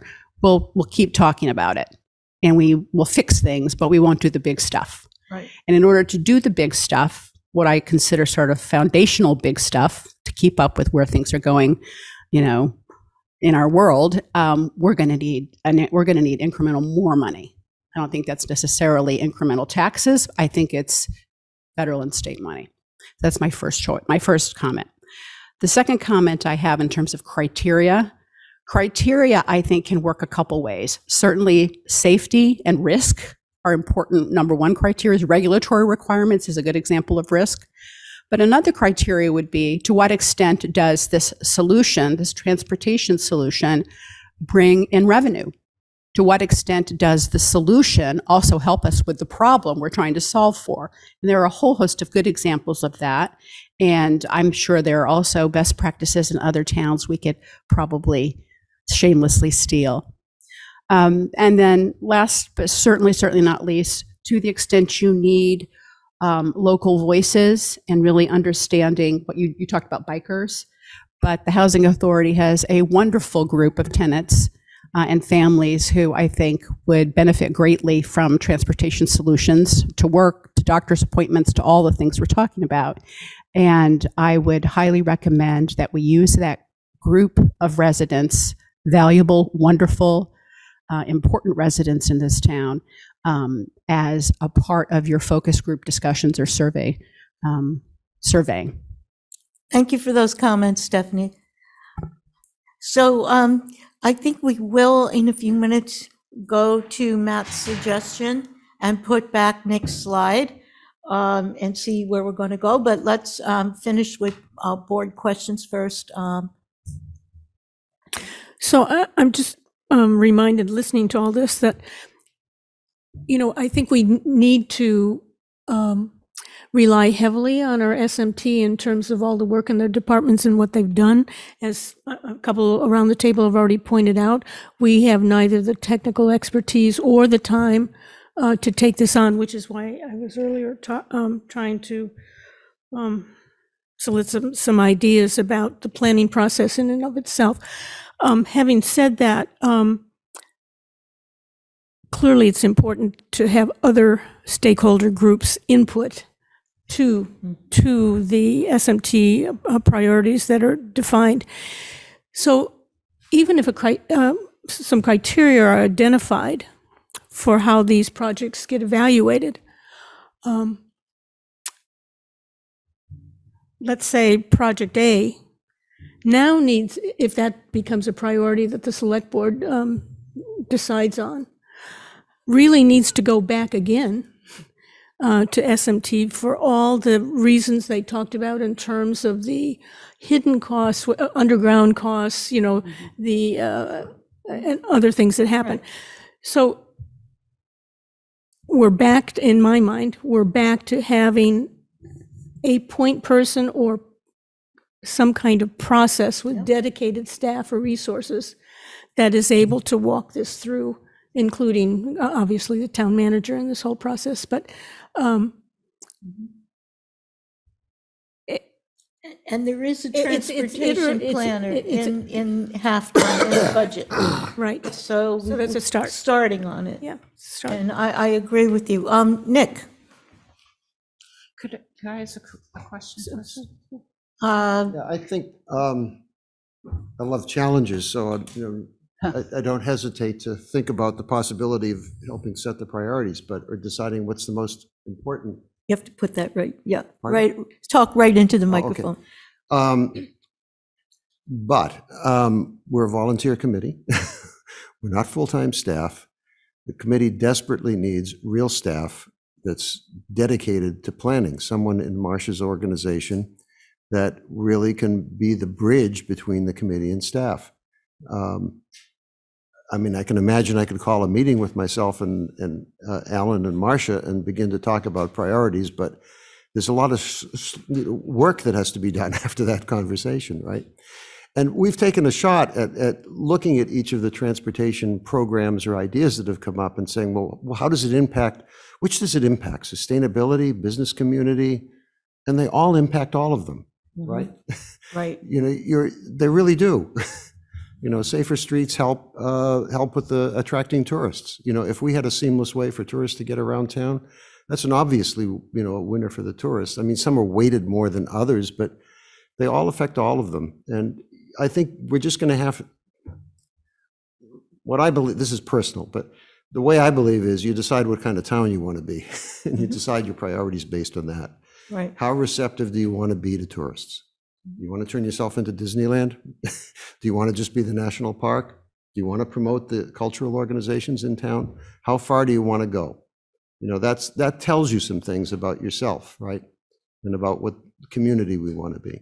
That's very important because that, that's the right set of values. It, we should not be making these- decisions based on funding that's available. And we, are our, um, our um, heads are frequently turned toward doing something because money is offered to us uh, to do something that we otherwise would not choose to do, or at least I- would not, I and refer- would not make it as a priority.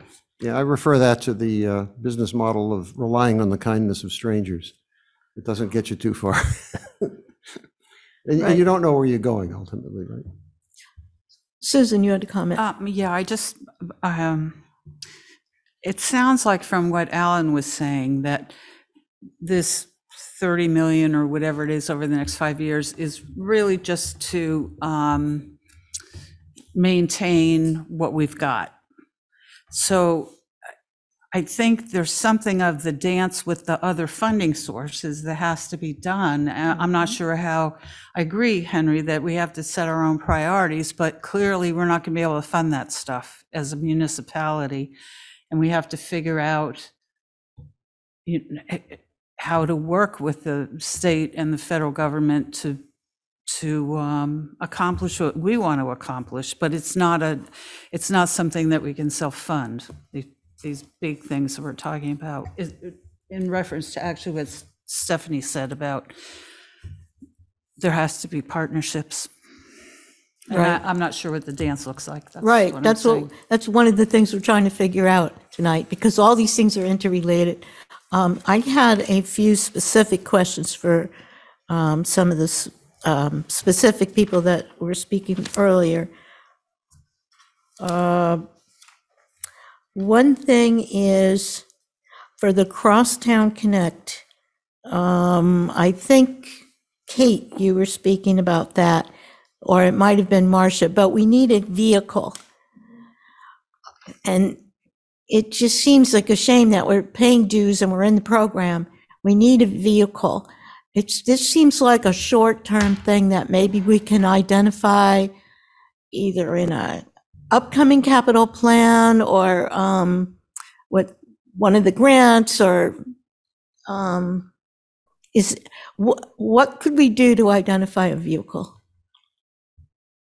Well, you, it would just essentially be adding a vehicle to the fleet. So, I mean, the one, I guess the one thing that we could look at is using the same criteria that we use for the Council on Aging vans. They're generally, you know, 12 to 15 passenger vans with an ADA access. Um, I think we have a buy green policy, so we would have to work with um, Amanda to try to figure out if there's, you know, a hybrid or, or other things like that. Marcia has her hand raised. Right, and I also want to add, um, I know it- it's been suggested that maybe we don't need to add a vehicle. Is there any vehicle that we can, that isn't being completely used all the time, like, I don't know, the COA van or school bus, or, I know it's been talked about many times and there's many obstacles. So, um, Marcia, I know you wanted to answer the question, maybe you can answer that one too. Well, I know that the, the COA buses are, are fully, you know, they are dedicated to the Council on Aging. And, um, but right now, Crosstown Connect is not functioning. They're, they, they are on hiatus. Acton was the lead community and we do not have a current intermunicipal agreement. So we would be starting up again, uh, and we haven't paid, you know, we, we haven't paid dues for this year. Um, so it, it's not functioning right now. So it's a great idea, but I think we have to have that conversation. How do we get back into it? Or how do we develop a relationship with TransAction Associates so that they could help us at least address our local concerns and issues? Right, It's right. just, I uh, think we need to be ready for when they do start up again. Speaking of vehicles, I know there are issues here, but we have dozens of school buses that are sitting Right. idle the majority of the time. Um, And even if they are not the good, a good long-term solution because of their Right. size and cost, if we want to um, do a pilot program in any of these areas, we have a resource that doesn't require a large capital investment. And you can try it with vehicles and drivers that you already have on town staff and are owned by the town. um, And to run a program to see if the demand is there and to experiment with um, how it works and what routes they should run and what, what uh, schedules they should run on. Um, And um, it seems to me something that um, uh, is an easy way to, uh, uh, an easy route to enter into um, these, uh, these transportation issues. Uh, Madam Chair, I just wanted to. I- Go ahead, Kate. I applaud the idea of that. It's not as simple, particularly with school buses, as just having a staff member do it. There's a particular license for that.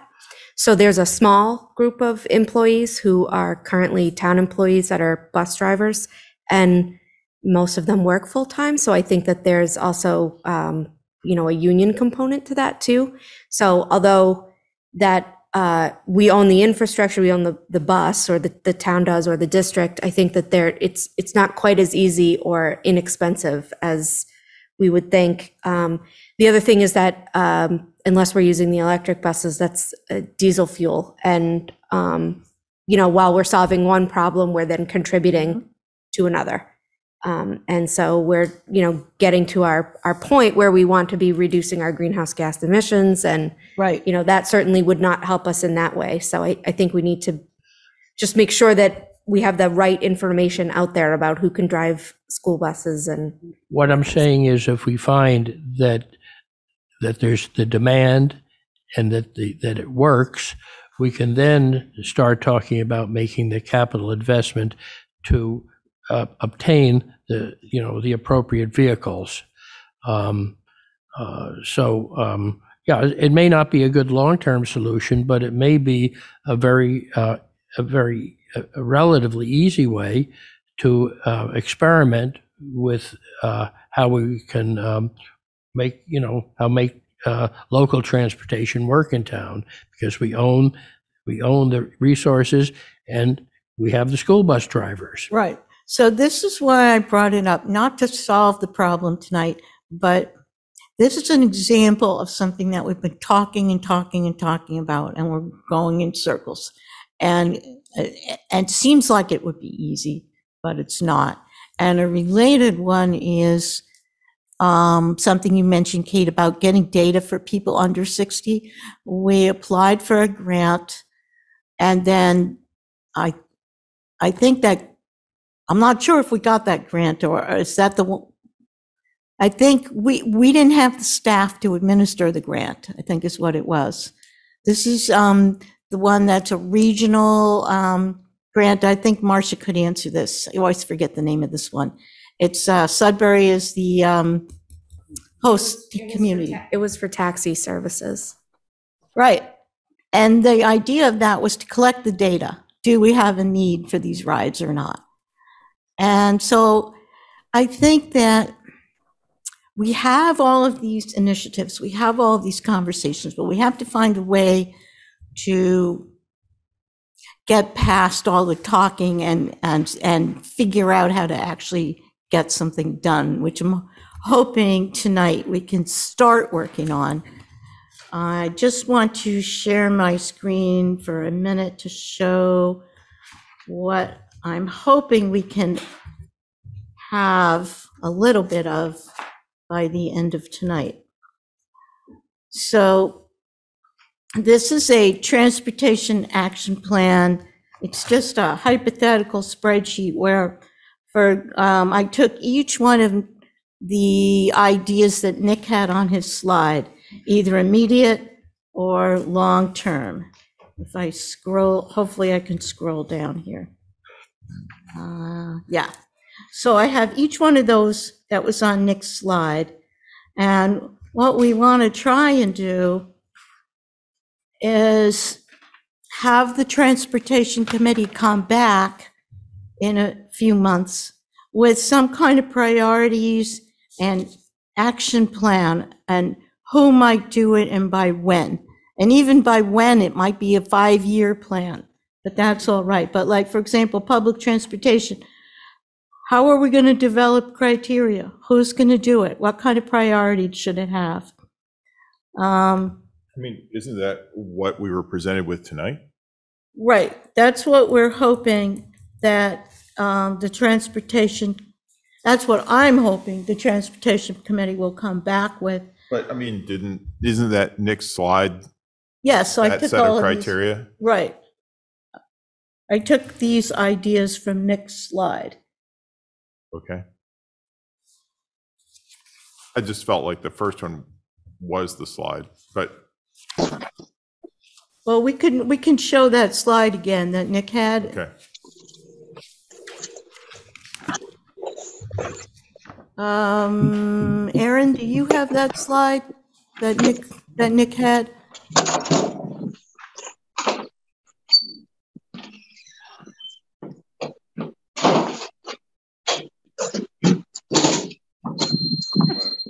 Um, John, um, can you, okay, thank you. If everyone could please mute from home, thank you.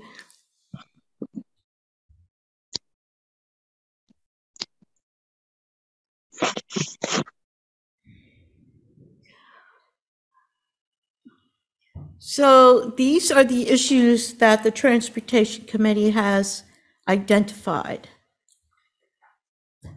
And this is where we should focus tonight on what do we want them to work on to come back to us with? And I'm saying, I'm hoping they'll come back with what are the priorities, who's going to do what, what kind of time frame do we have? for Yeah, these I'm things? thinking of the slide that's before this one. Oh, okay. This one? The- No, one more before this.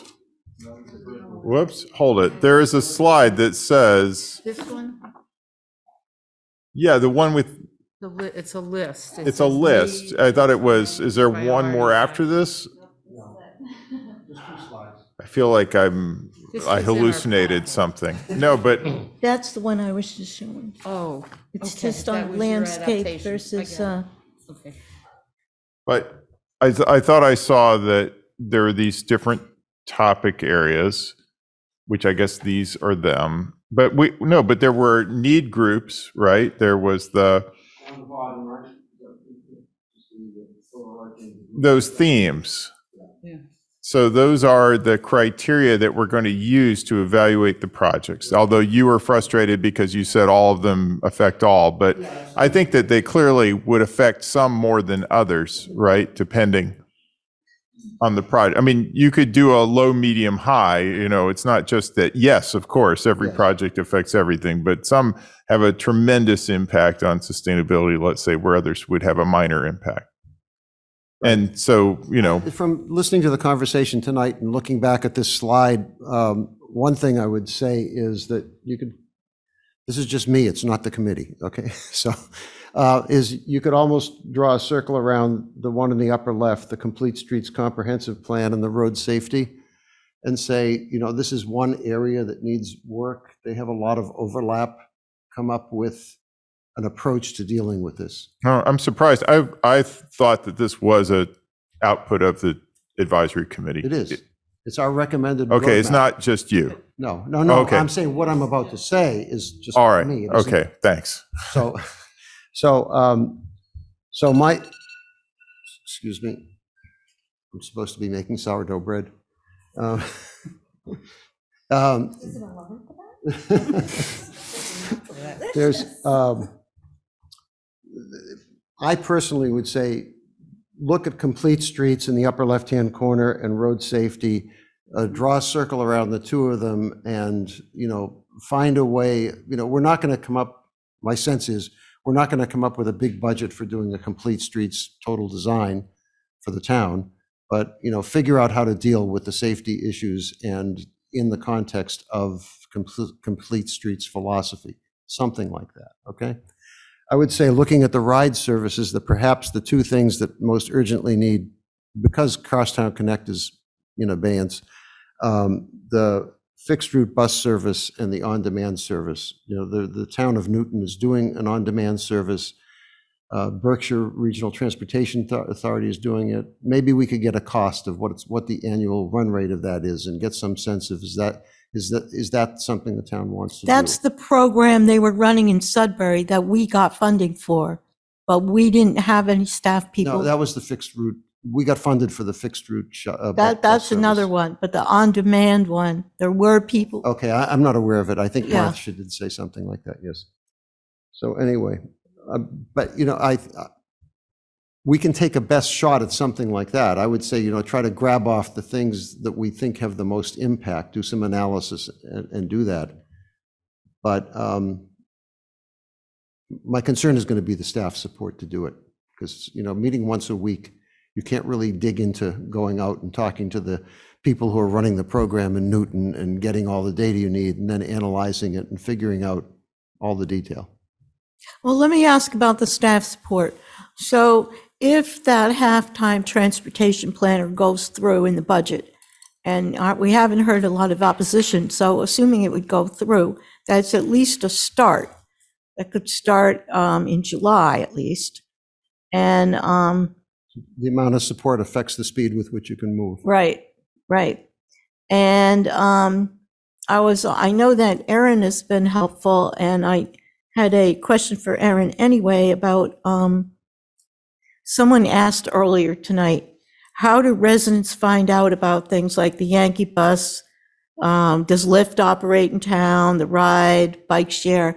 Is this something that you could put together on the, on the website, Erin, since information is kind of your specialty?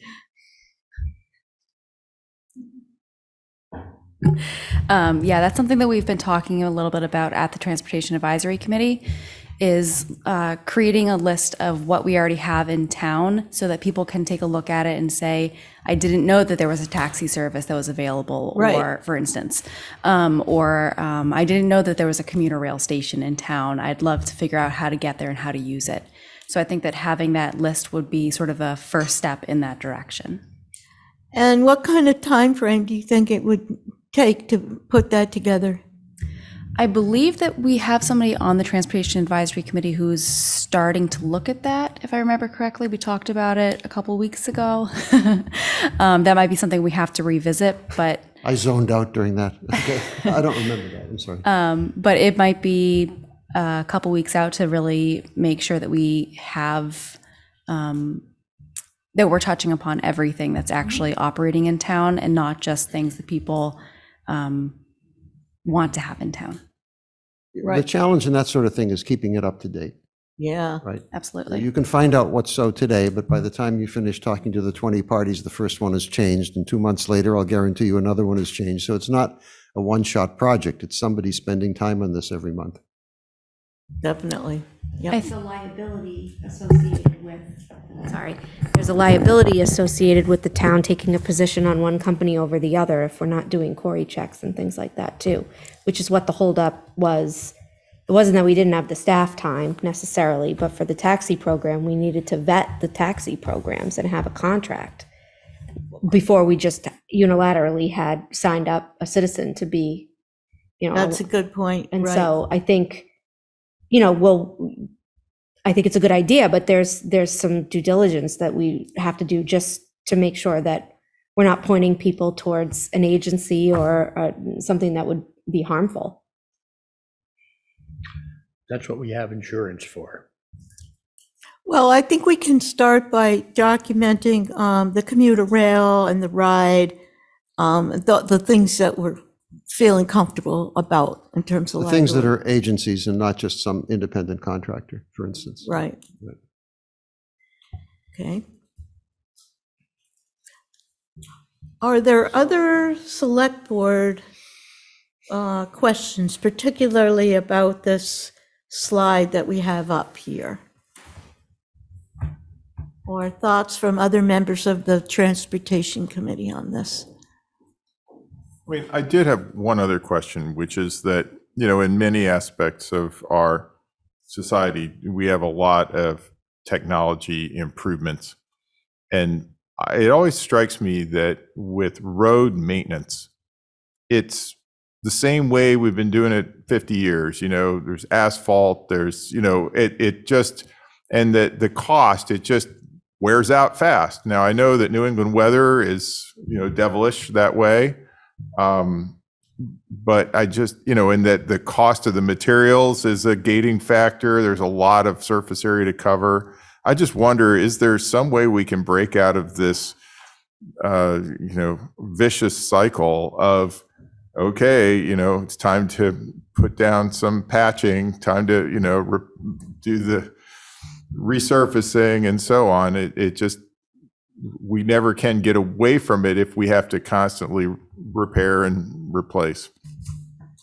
Sure, I'm going to ask uh, Steve Dookran to, if he's available, to step into this uh, because the engineering division has reevaluated the techniques, and we've been sort of promoting that pretty aggressively through a number of different hearing opportunities and meetings.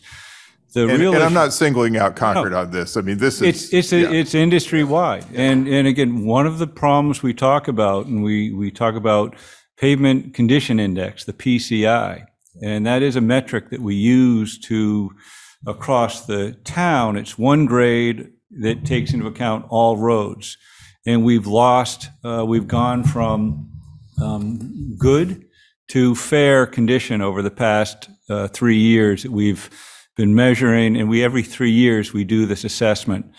So we are uh, presently reevaluating how to treat the roads, and we're looking at an alternative, which is, you know, Steve Dookran, are you available? Do you want to um, speak to this? Because your group has been doing some research.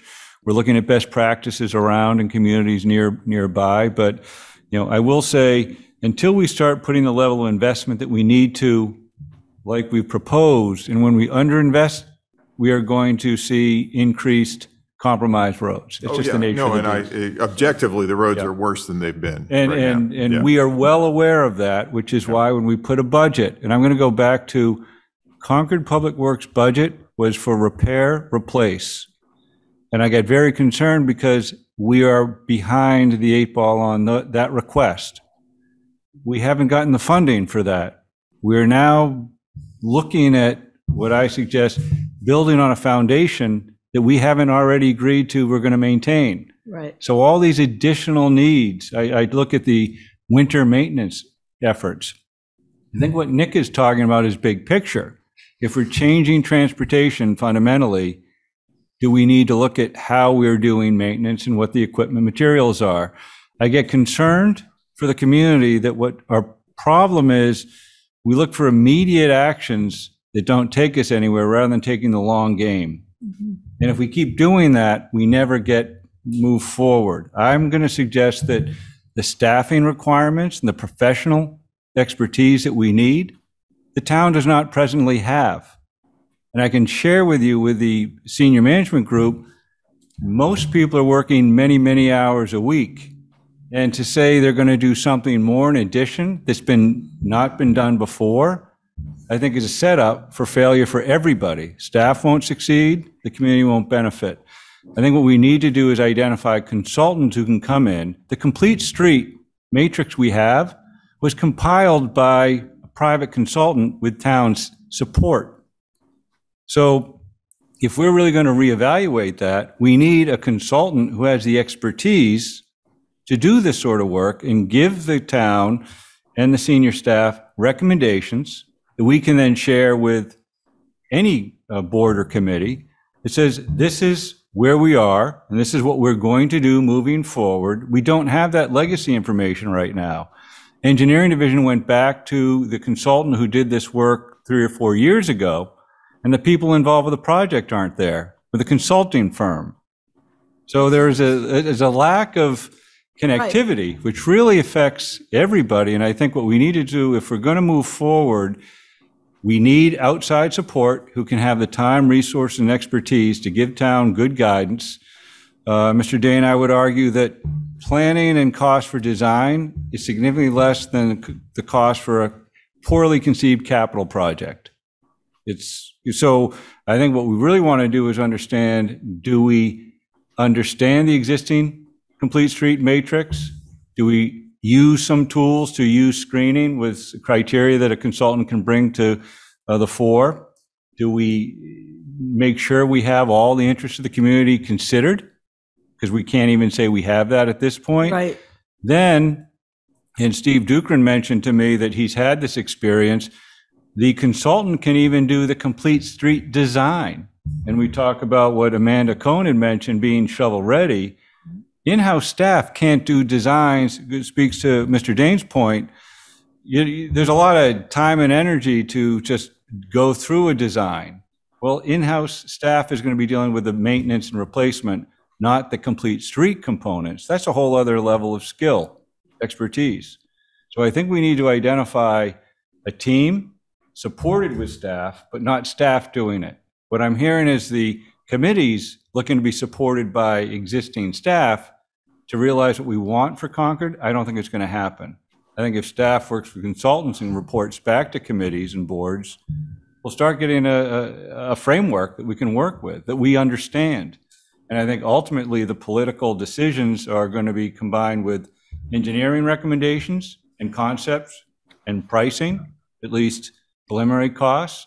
And then we can look at the, the safety issues, the community issues, and the political issues together. And that's where I think TAC could ultimately be sort of a volunteer group who's familiar with these concepts. The select board isn't going to be, you're going to get informed. the Public Works Commission will be informed, because they have other charges they're dealing with. Right. But maybe the TAC could be that entity Right. that can sort of disseminate what is of interest to the town, what should be funded, and make those recommendations as they go through town meeting preparation.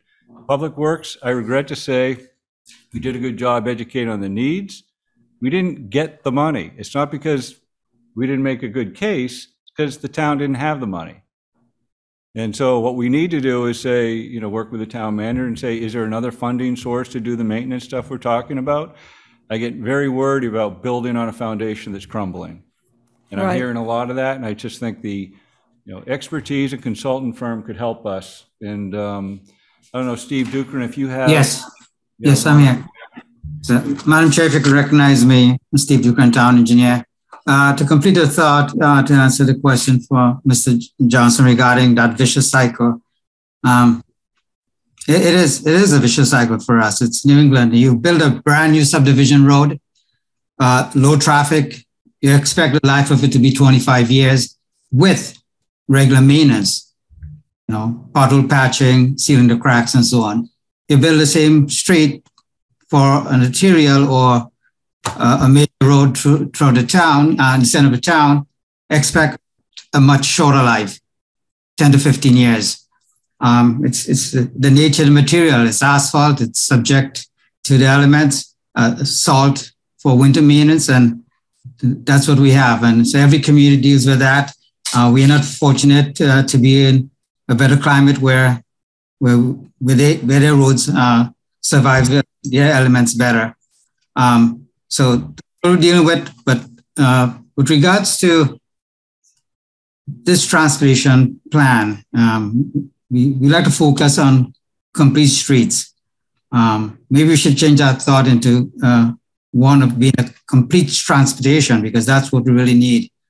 Um, we really haven't figured out exactly how the, the complete streets prioritization plan was put together.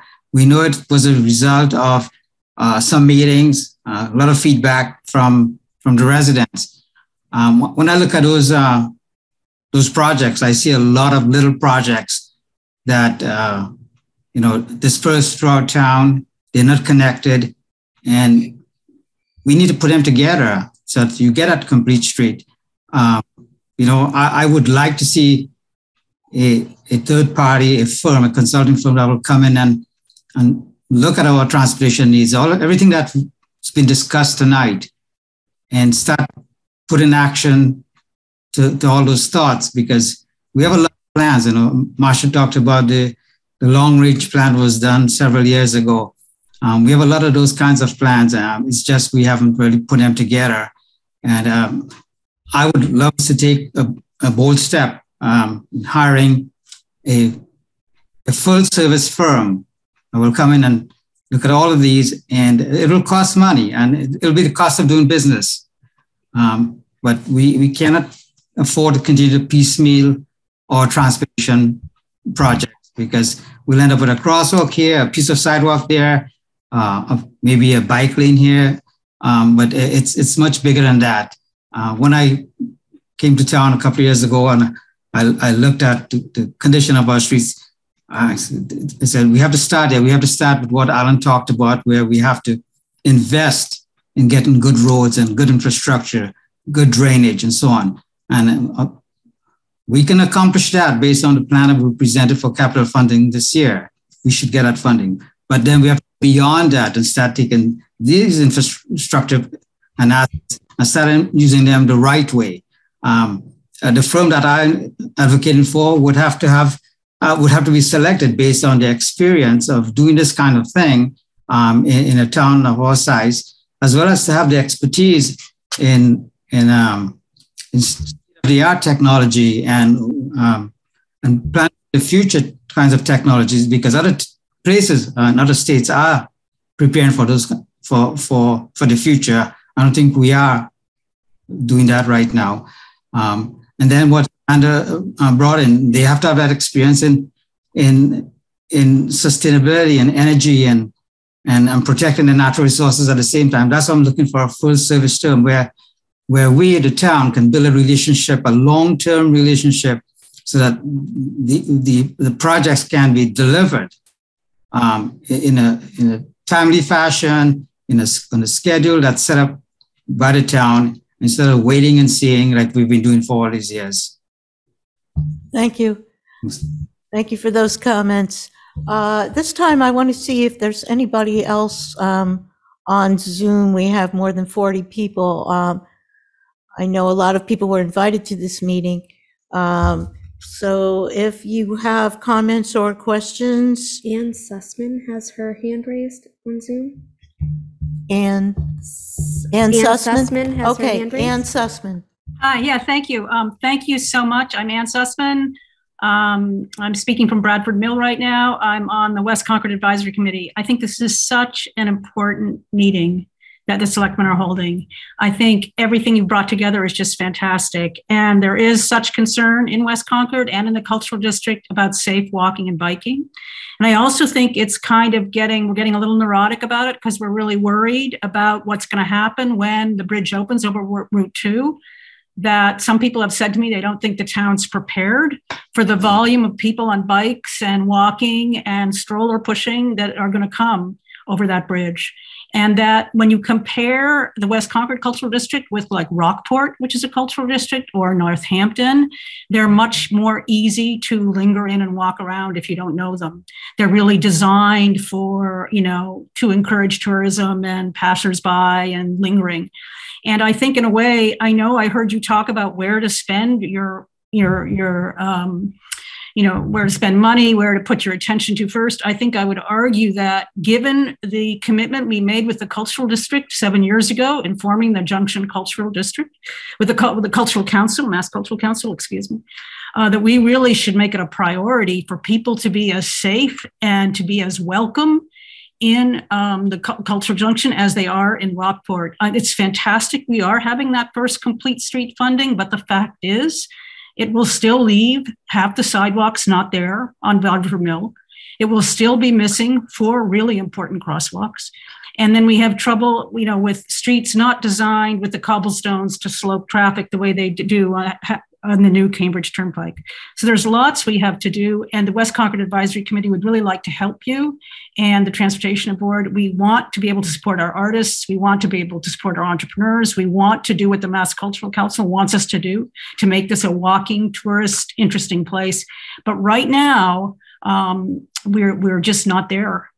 And and um, it, exciting things are happening, but I almost think I know this is a crazy idea. Maybe we could talk about it later at the West W West Concord Advisory Committee. That maybe we should take some quick fixes um, in Northampton when they didn't have money to to to make crosswalks. The uh, town people and the business people gave the paint, and then the the um, public works in Northampton painted wild um, rainbow crosswalks all over Northampton, which they catch your attention, and they they did what they needed to do. So I think we need to do some quick wins, and I think we need to look at what other towns have done, um, because face it, we're not the only one with the financial issues.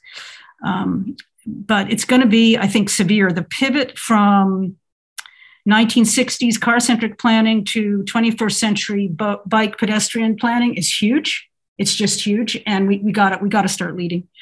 And I won't get into the aging population as a baby boomer. I'm terrified of that. I don't think we're we've designed for baby boomers, and we need them to be able to walk safely and not just drive. But that's a whole other conversation. Anyway, we, we'd love to support you at the West Concord Advisory Committee, and really any kind of links you can think, and making it a safe place to walk and bike in the junction, as more and more people will use it next year or this Thank year. you, Thank you, Anne.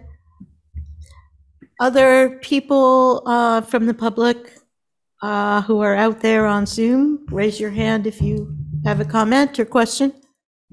Pamela Dritt. Pamela Dritt. Pamela, 13 Concord Green. I want to keep people's minds on the fact that when it comes to safety, we're poisoning our children on diesel school buses, which is the most polluted thing you can do for developing brains and lungs, uh, has been scientifically established, and that we really do need to electrify the entire school bus fleet at a high priority, both for climate change and for protection of our children. Um, and using the buses for um, other transportation, particularly in the summer tourist thing, seems like a great idea. Um, and also, of course, for utility backup. Thank you. Bill Robichaux.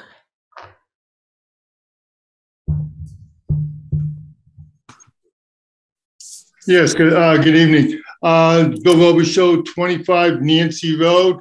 Um, I've been the trail steward for the Reformatory Branch Trail for pretty much more than a dozen years. Uh, and I believe I have a lot to share uh, regarding that trail. Uh, the TAC is going to be hosting a walk on the trail on March 21st at 10 o'clock. The Trails Committee may be holding uh, an additional walk following the Trails meeting on March 29th. But I'm going to be leading uh, a number of walks, which I'm going to call the Reformatory Branch Amble. I'm going to be doing on this Wednesday from 2 to 4, and each subsequent Wednesday from 9 to 11. Uh, we'll start at the wastewater treatment plant. Uh, the purpose of the walk is to have open discussions. Um, I am uh, an unelected citizen of Concord with no committee or board uh, membership, so there should be no open meeting uh, restrictions on that. I will do the facilitation of the walk. I promise to be fair and allow all sides to be heard as long as they are civil. Um, there'll be no official meeting uh, minutes or recording of the walk. Uh, and I just ask that anybody who has a restriction on um, open meeting rules, just make sure that there's no quorum I- involved with it uh, or reschedule whatever walk you want to have. Um, I, I want to let everybody know that everybody is welcome on the walk, pro, con, uh, walkers, bikers, dog walkers, employees, committee members, board members, whoever wants to learn about the reformatory branch. Uh, I feel I have a lot to share on that. So I just wanted to make that announcement. Um, thank you. Thank you very much, Bill. So um, I think we should um, see if we have any more comments from the select board or the transportation um, committee to see, um, you know, ha- have we accomplished anything tonight? It, it's a, it's a good start talking about all the issues. Where do we want to go from here? What suggestions do we have? Um, Linda? Well, I- you know, I, I've heard um, a good case for bringing in a con- a consultant and some technical expertise to assist our staff um, in proceeding. And so I think this, for me, um, is one of the priorities for the use of the ARPA funds. Okay. Um, Do we have any kind of cost estimate, Al- Alan? Is, are we talking about, you know, hu- hundreds of thousands of dollars, or what what kind of ballpark are we talking about? We haven't had any conversation with staff on next step with consultants, just the concept. I don't know if, um, I don't know if Steve Dookran has any, any thoughts on that, but it would be, you know, I'm going to guess hundreds of thousands of dollars. Yeah, that would be my guess. Well, I think it would be useful to know, because this ARPA money, um, we do have received some of it already, and we're starting to plan it, so, We'll, we'll, we'll do some homework to try, to try and Thank find out you. what those costs might be. great, Ballpark. okay.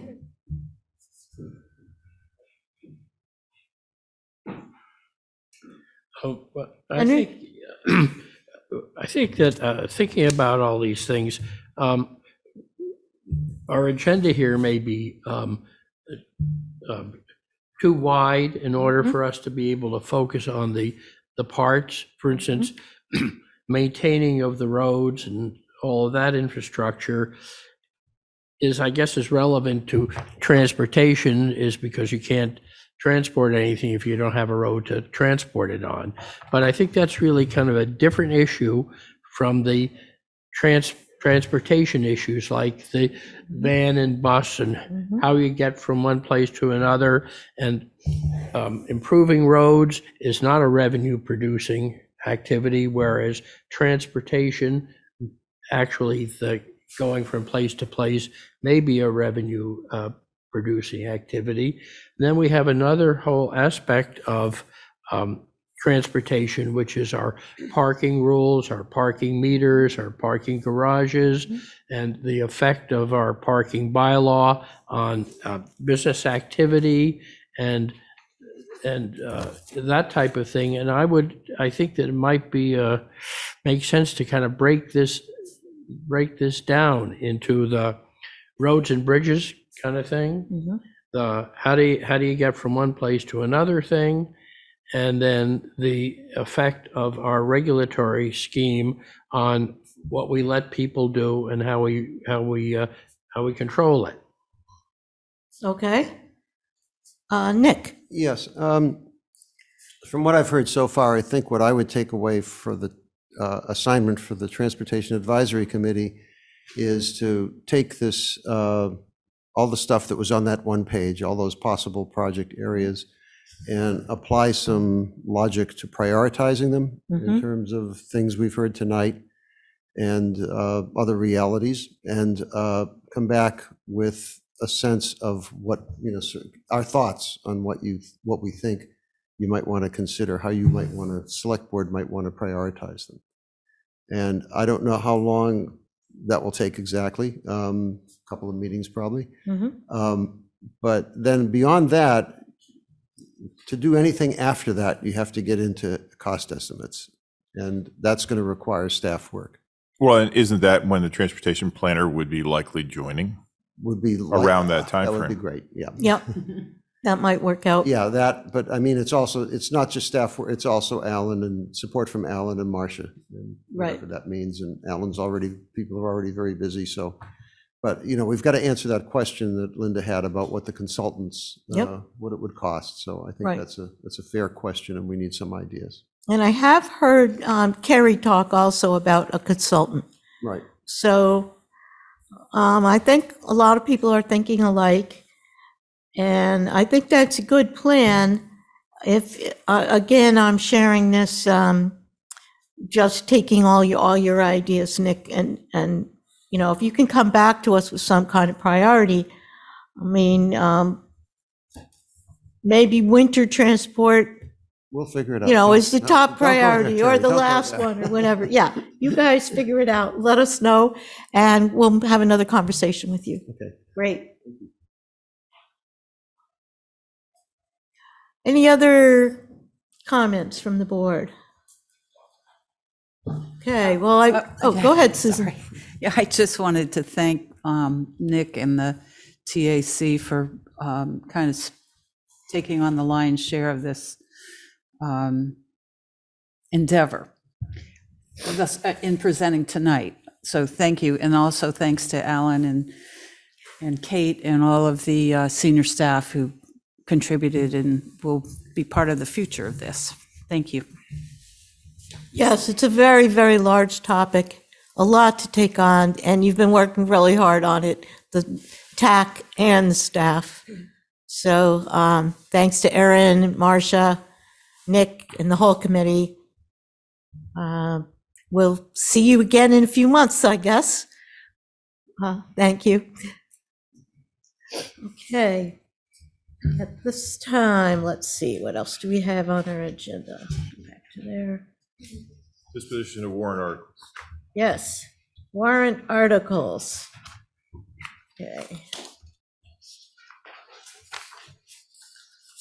Okay. First one that we're supposed to do tonight is 17, is that correct?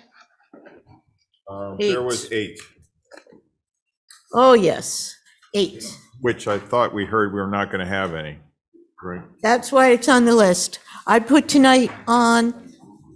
Some articles that I thought we could easily um, deal with.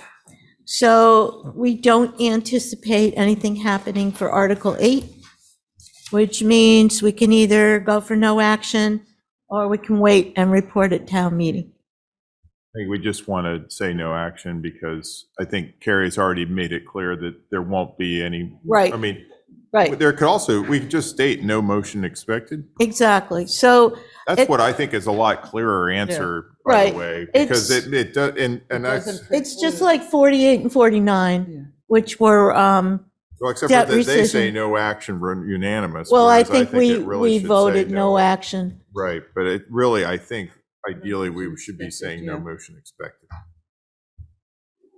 I- Ideally, what, Matt? We should be saying no motion expected rather than no Exactly, an- action. Anticipated, right. Yeah. Okay. All right. So we don't even need to vote on that. I don't think if it's no Right, we motion just- expected. Yeah, All right. So now we are on 17. right. Minuteman Regional Technical High School. So I didn't have the presence of mind during the presentation at the public hearing to ask another key question for me, which is, right now, a lot of the member towns are benefiting from the uh, four-year averaging because their enrollment is increasing, which is inc- reducing their per-student costs. But then, once that levels off, and uh, maybe worse, uh, on the downside, that four-year averaging can result in a presumably quite high uh, per student cost. And the, the question that it was left me with was, is there uh, any way that a town could leave the agreement on short notice effectively to sneak out of that? And I, I don't know the answer. So that, right now, I feel like we're kind of in this honeymoon period where we've had, in- in- I mean, honeymoon, it's not quite a honeymoon. It's a very expensive ring, let's just say that. Um, That uh, we, you know, are, have increased enrollment. It's uh, all, you know, great, the, the new facility, uh, you know, clearly the program's successful. Um, But as enrollment levels off, those per pupil costs are going to start to increase.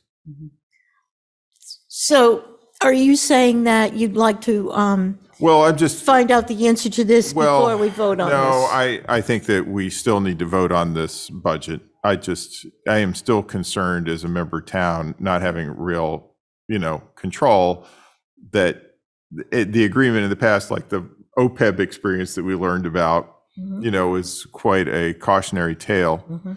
And I do look at this methodology of the averaging, and I just do worry about the kind of gaming the system that could happen. So that's all.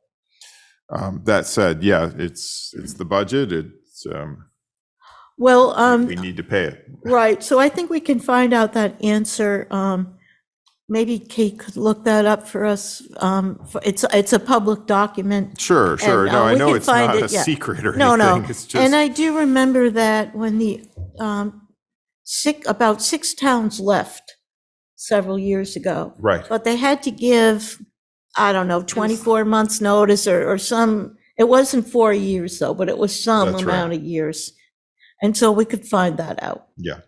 So are people prepared to vote now, or do you want to wait for that answer? I mean, the only other thing on my mind was that, you know, we voted for that lighting for the fields, you know, that was supposed to be an income generator. Mm-hmm. And I still couldn't make heads or tails over whether it was a net income generator. I saw the budget line, but I didn't see, you know, the revenue line tied to it. They just opened the field, so. Okay, so there hasn't been yet. Right. Okay, 'cause- Homecoming, their homecoming game. Yeah. Um, is the first time they used it, so they only have one football. game. Kate, you good? Oh, I'm sorry. Okay. Yeah, so they, they just opened the field. Okay, but they do intend to rent those fields out yeah. quite aggressively. They do. In fact, they have staff and everything to do it. Correct, yes. All right, And all that goes into revolving fund there. right, the to help revenue offset costs. So I just, that was the only other checkpoint that I had on this. Otherwise, yeah, Well, if we, if we withdrew, which it would be, I think, a drastic step, the town would have to educate those. Oh, those absolutely. No. I'm not, I'm not proposing that we And pull we out. really, and, and for the, uh, the type of education that the students get who go there, we're, we're in no position to Right. provide that I don't think he's proposing that. He's saying if another town withdraws, then our ass- Stuck with the bill. assessment will go up. Right. Yeah, okay. All right. I'm, I'm okay with it then. I mean, I, Other, You ready to vote? yeah. other questions about this article? All right, is everyone ready to vote? Okay, move affirmative action on Article 17. Second. All in favor? Aye. Aye. All right. Now, on Article 18, I am going to recommend that we put off this vote, and I'll tell you why. After the public hearing last Thursday, I stayed for the Finance Committee meeting, and everything went through in 10 seconds except this article. It's a very long discussion. And the Finance Committee and the School Committee are still $312,000 apart. And there's more, I think, negotiating that's going to be happening. And I mean, if you want, we can take a position tonight, but I don't think our role is to be necessarily the referee between those two committees. I think we should stand behind the Finance Committee. Well, I think you- we should wait and see the outcome of their deliberations too, or, you know, and what the finance, com- they didn't vote last night. Um, Or the they night that we- voted no action. Okay, oh, all right, okay. But things may still change, and we may have to report a town meeting. Or we can decide um, one way or the other tonight, or, or um, in a few weeks. Well, we don't have to decide now if we think that negotiation is going forward and that there may be a compromise Right. or a- an Right. accommodation. Right. So um, I guess the right answer is to take, is to uh, defer any action on it until we know what the final result is. But ultimately, I think that it's really important that this board support the Finance Committee, Okay? not just in this, but in Right. everything else. Right. Okay, um, does anyone want to take a vote on this one tonight? Okay. Number 19, Concord Public Schools capital projects.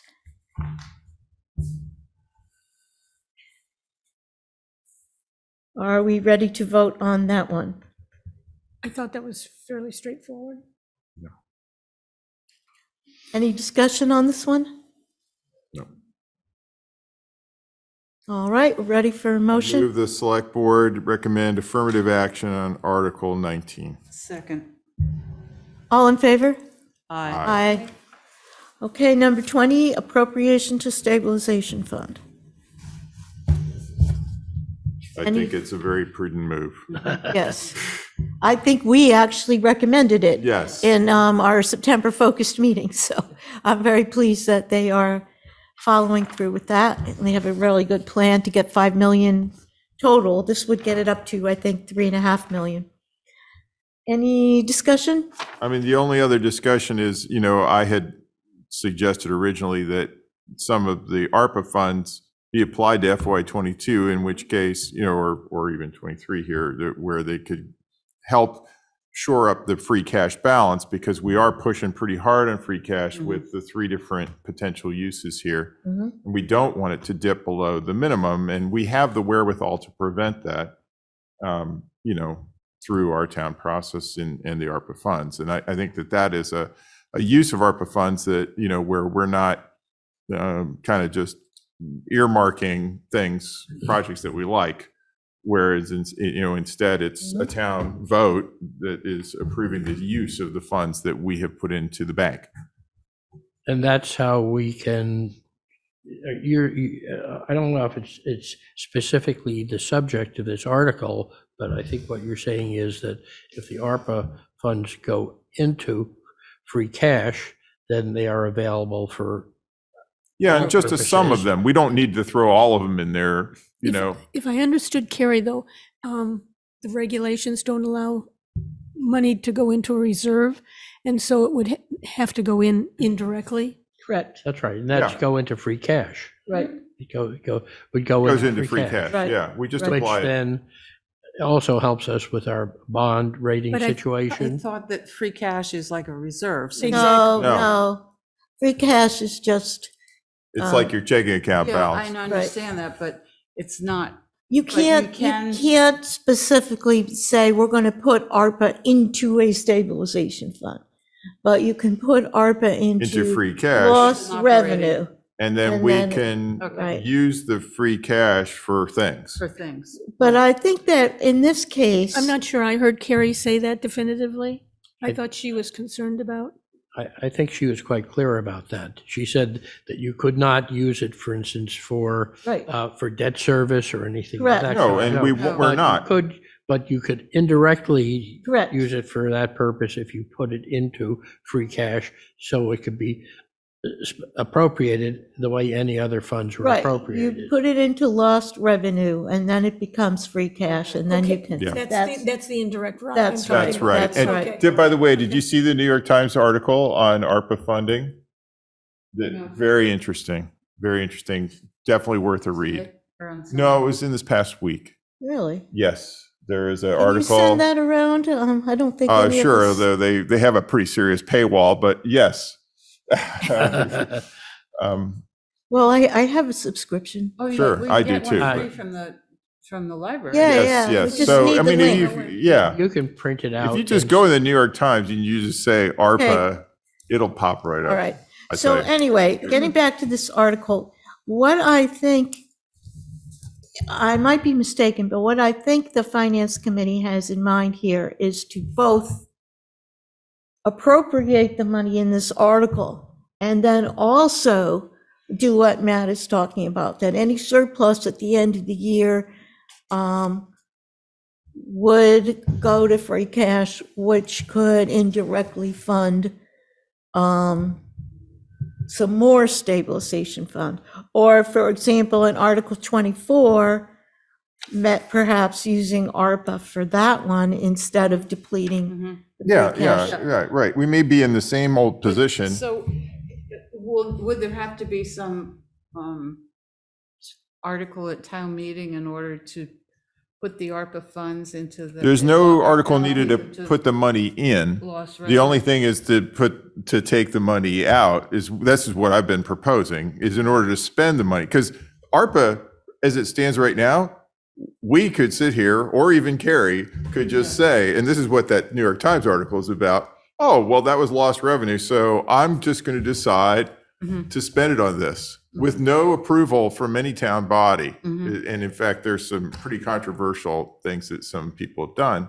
And there's no controls. Well, So- we're sure, you know, we're seriously underpaid, the members of this. Well, board. that, that we might have a little trouble with, but um, anyway, I think that we're, uh, the, just the point I wanted to make though is that here, we're in a good, I think we're, we can put ourselves in a good position with certified free cash regardless of the spending. Right. Okay. So is there a motion for this Article 20? Sure, m- move, the select board approve affirmative, I mean, recommend affirmative action on Article 20. Second. All in favor? Aye. Aye. Okay. Number 21, Concord Carlisle Regional High School budget. Any discussion?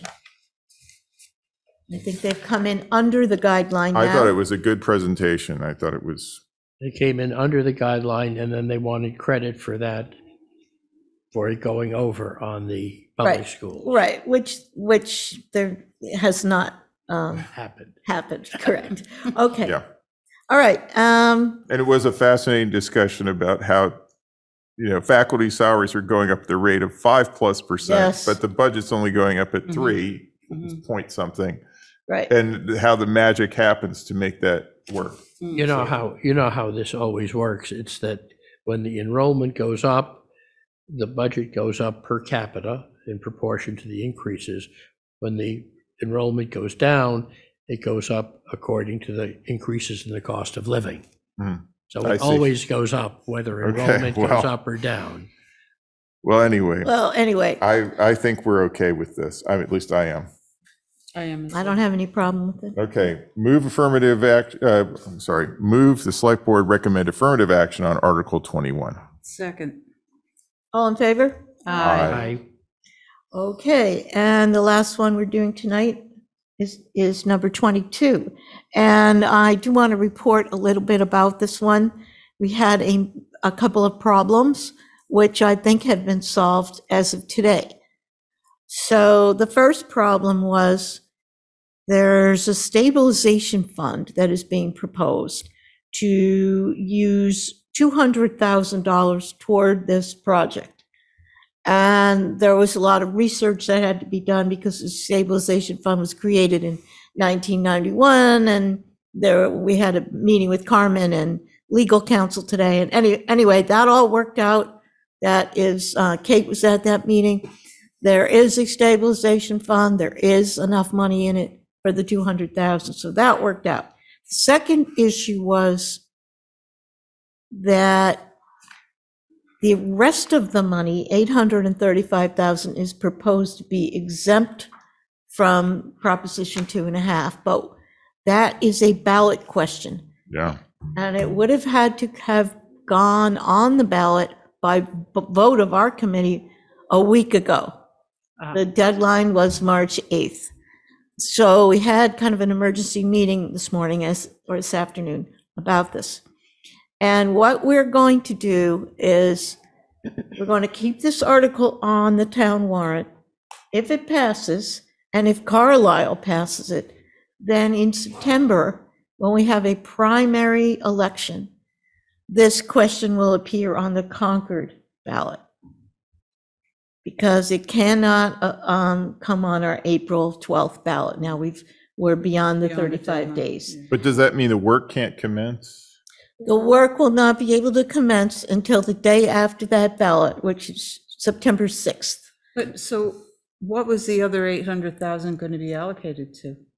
The pro, the project is 1,035,000. 200,000 is coming from stabilization, and 835,000 is going to be from exempt debt. It's going to be borrowed and um, exempt from Prop two and a half. But do, I mean, it's not a huge number. I Why does agree. it have to be Why does it excluded have to from be Prop two and a exempt? half? Uh, that was my question. And the answer was given that this has been the tradition, this is how it's been at CCHS. So I've, loo- I've asked them to look into it for the future. Because if they just struck that provision, then we'd Right. just borrow the funds and be Well, done. we looked into that and legal and bond counsel say that you cannot strike that now because it will be not in the four corners of the article. Because now, The voters are on notice. I know, I, I already tried all that. So, um, because their taxes would go up in the Yeah. short term. Right, and they've been notified through the warrant that this is, uh, what we're going to be doing. So another possibility Hold possibility. it, hold it. Actually, it wouldn't have any impact on taxes. It would just have an Just be impact on whether we it. could further raise taxes Well- without affecting Prop two and a Well, half. anyway, legal. I don't see how that's outside of the four corners. Well, you know, I agree with you, but I'm not legal counsel. Legal counsel and bond counsel have both decided it's not within the four corners. We hmm. cannot do it. The only thing we could do would be to have a special town meeting within the annual. Hmm. And Carlisle really doesn't want to go through all of that. Anyway, after all of these shenanigans and all of these discussions and all of this, the best solution we came out with was we're going to keep the article the way it is. And September 6th, it will be on the ballot instead of April 12th.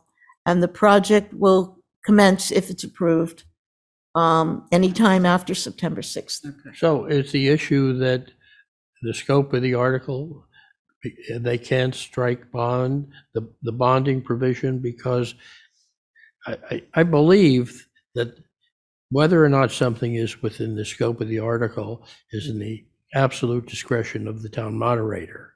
No, they, they can be appealed. Oh, I mean on the floor. Yeah. Yeah, but I mean, it's, Well- uh, but if, the But- if the moderator says it's within the you're scope right. and then no appeal is taken from the floor, it's within the scope. Right, but and the then- moderator- Validated by Right. Vote is the good. Attorney General. But the moderator has consulted with counsel and this is their ruling. We're, I mean, I don't. I mean, it's think we really should- terrible because guess what? September 6th is when school's just starting. So now you're going to pave this road during school. Well, um, Dr. Hunter was on the call, Jared was on the call, and they are willing to work with it.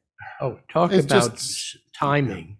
Yeah. If you re- read about what the proposal is for the um, repaving of Route 2A, they planned, the, they plan to start that in 2024. Oh, Oh, perfect. great. And just in time to interfere with the 250. Terrific. Yeah. Okay, I'm, I'm sure we'll be getting to that discussion at our next meeting.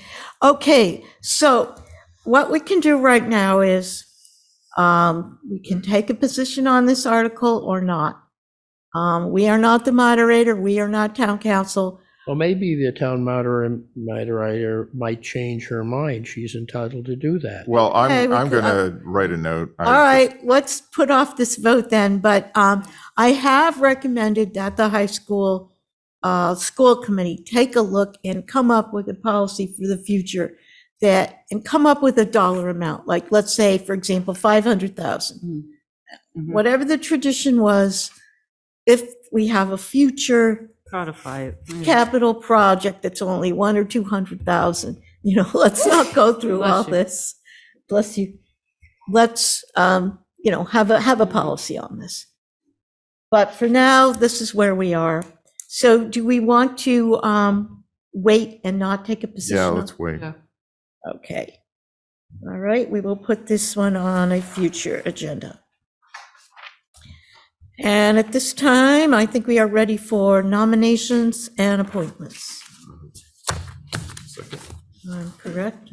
Um, Nominations, uh, Elizabeth Cobbs of 31 Pondview Lane to the Personnel Board, Danielle Darzan of 197 Belknap Street to the Hous- the Concord Housing Development Corporation, and Nancy Crowley of 5 Concord Green, Number 7, to the Public Ceremonies and Celebrations Committee.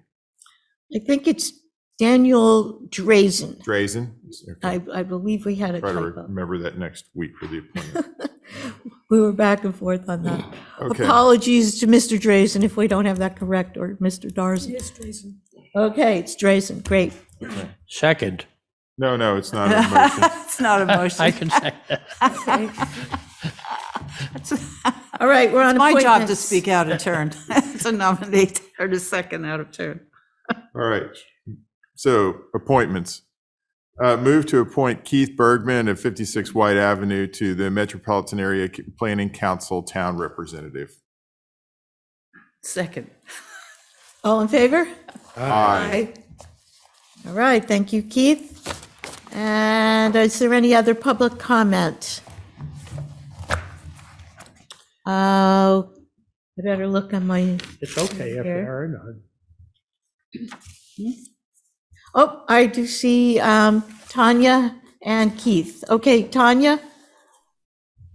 Thank you. Um, Hi, Keith was first, actually, but congratulations, Keith. I'm so glad we have somebody representing us on the MAPC now. I know you were there in a, in an important role as a Littleton town manager, so I'm glad you're there for Concord now. Um, eh, as I was just going to say that as far as Articles 46 and 47 are concerned, the reformatory branch trail articles that Bill was also referring to, uh, Concord Ken in the morning tomorrow at 8 a.m. has a breakfast where they will discuss those articles. I suspect that sustainability will be their focus. And uh, to register, just go to their website, concordken.org. So thank you. Thank you. Uh, Keith, did you have your hand up? Uh, Yes, thanks very much, Terry. I- I just wanted to express my thanks to the board for uh, this uh, appointment tonight to represent uh, Concord on the MAPC Council, and uh, I appreciate very much that uh, tonight's vote. Uh, Thanks very much. Uh, Keith, I note that there's no expiration on that appointment, so you're there for the duration. Yeah, I think, yeah, I think, yeah, MAPC will send, send me back after three years. Okay. One way or another, so. Well, we should be the, we should be the ones thanking you. You're going to be doing all the work. Thank you so much. Thank you. Well, I'm, I'm at all of those MAPC meetings anyway, and I'm happy to be there on Concord's behalf also. So thanks again.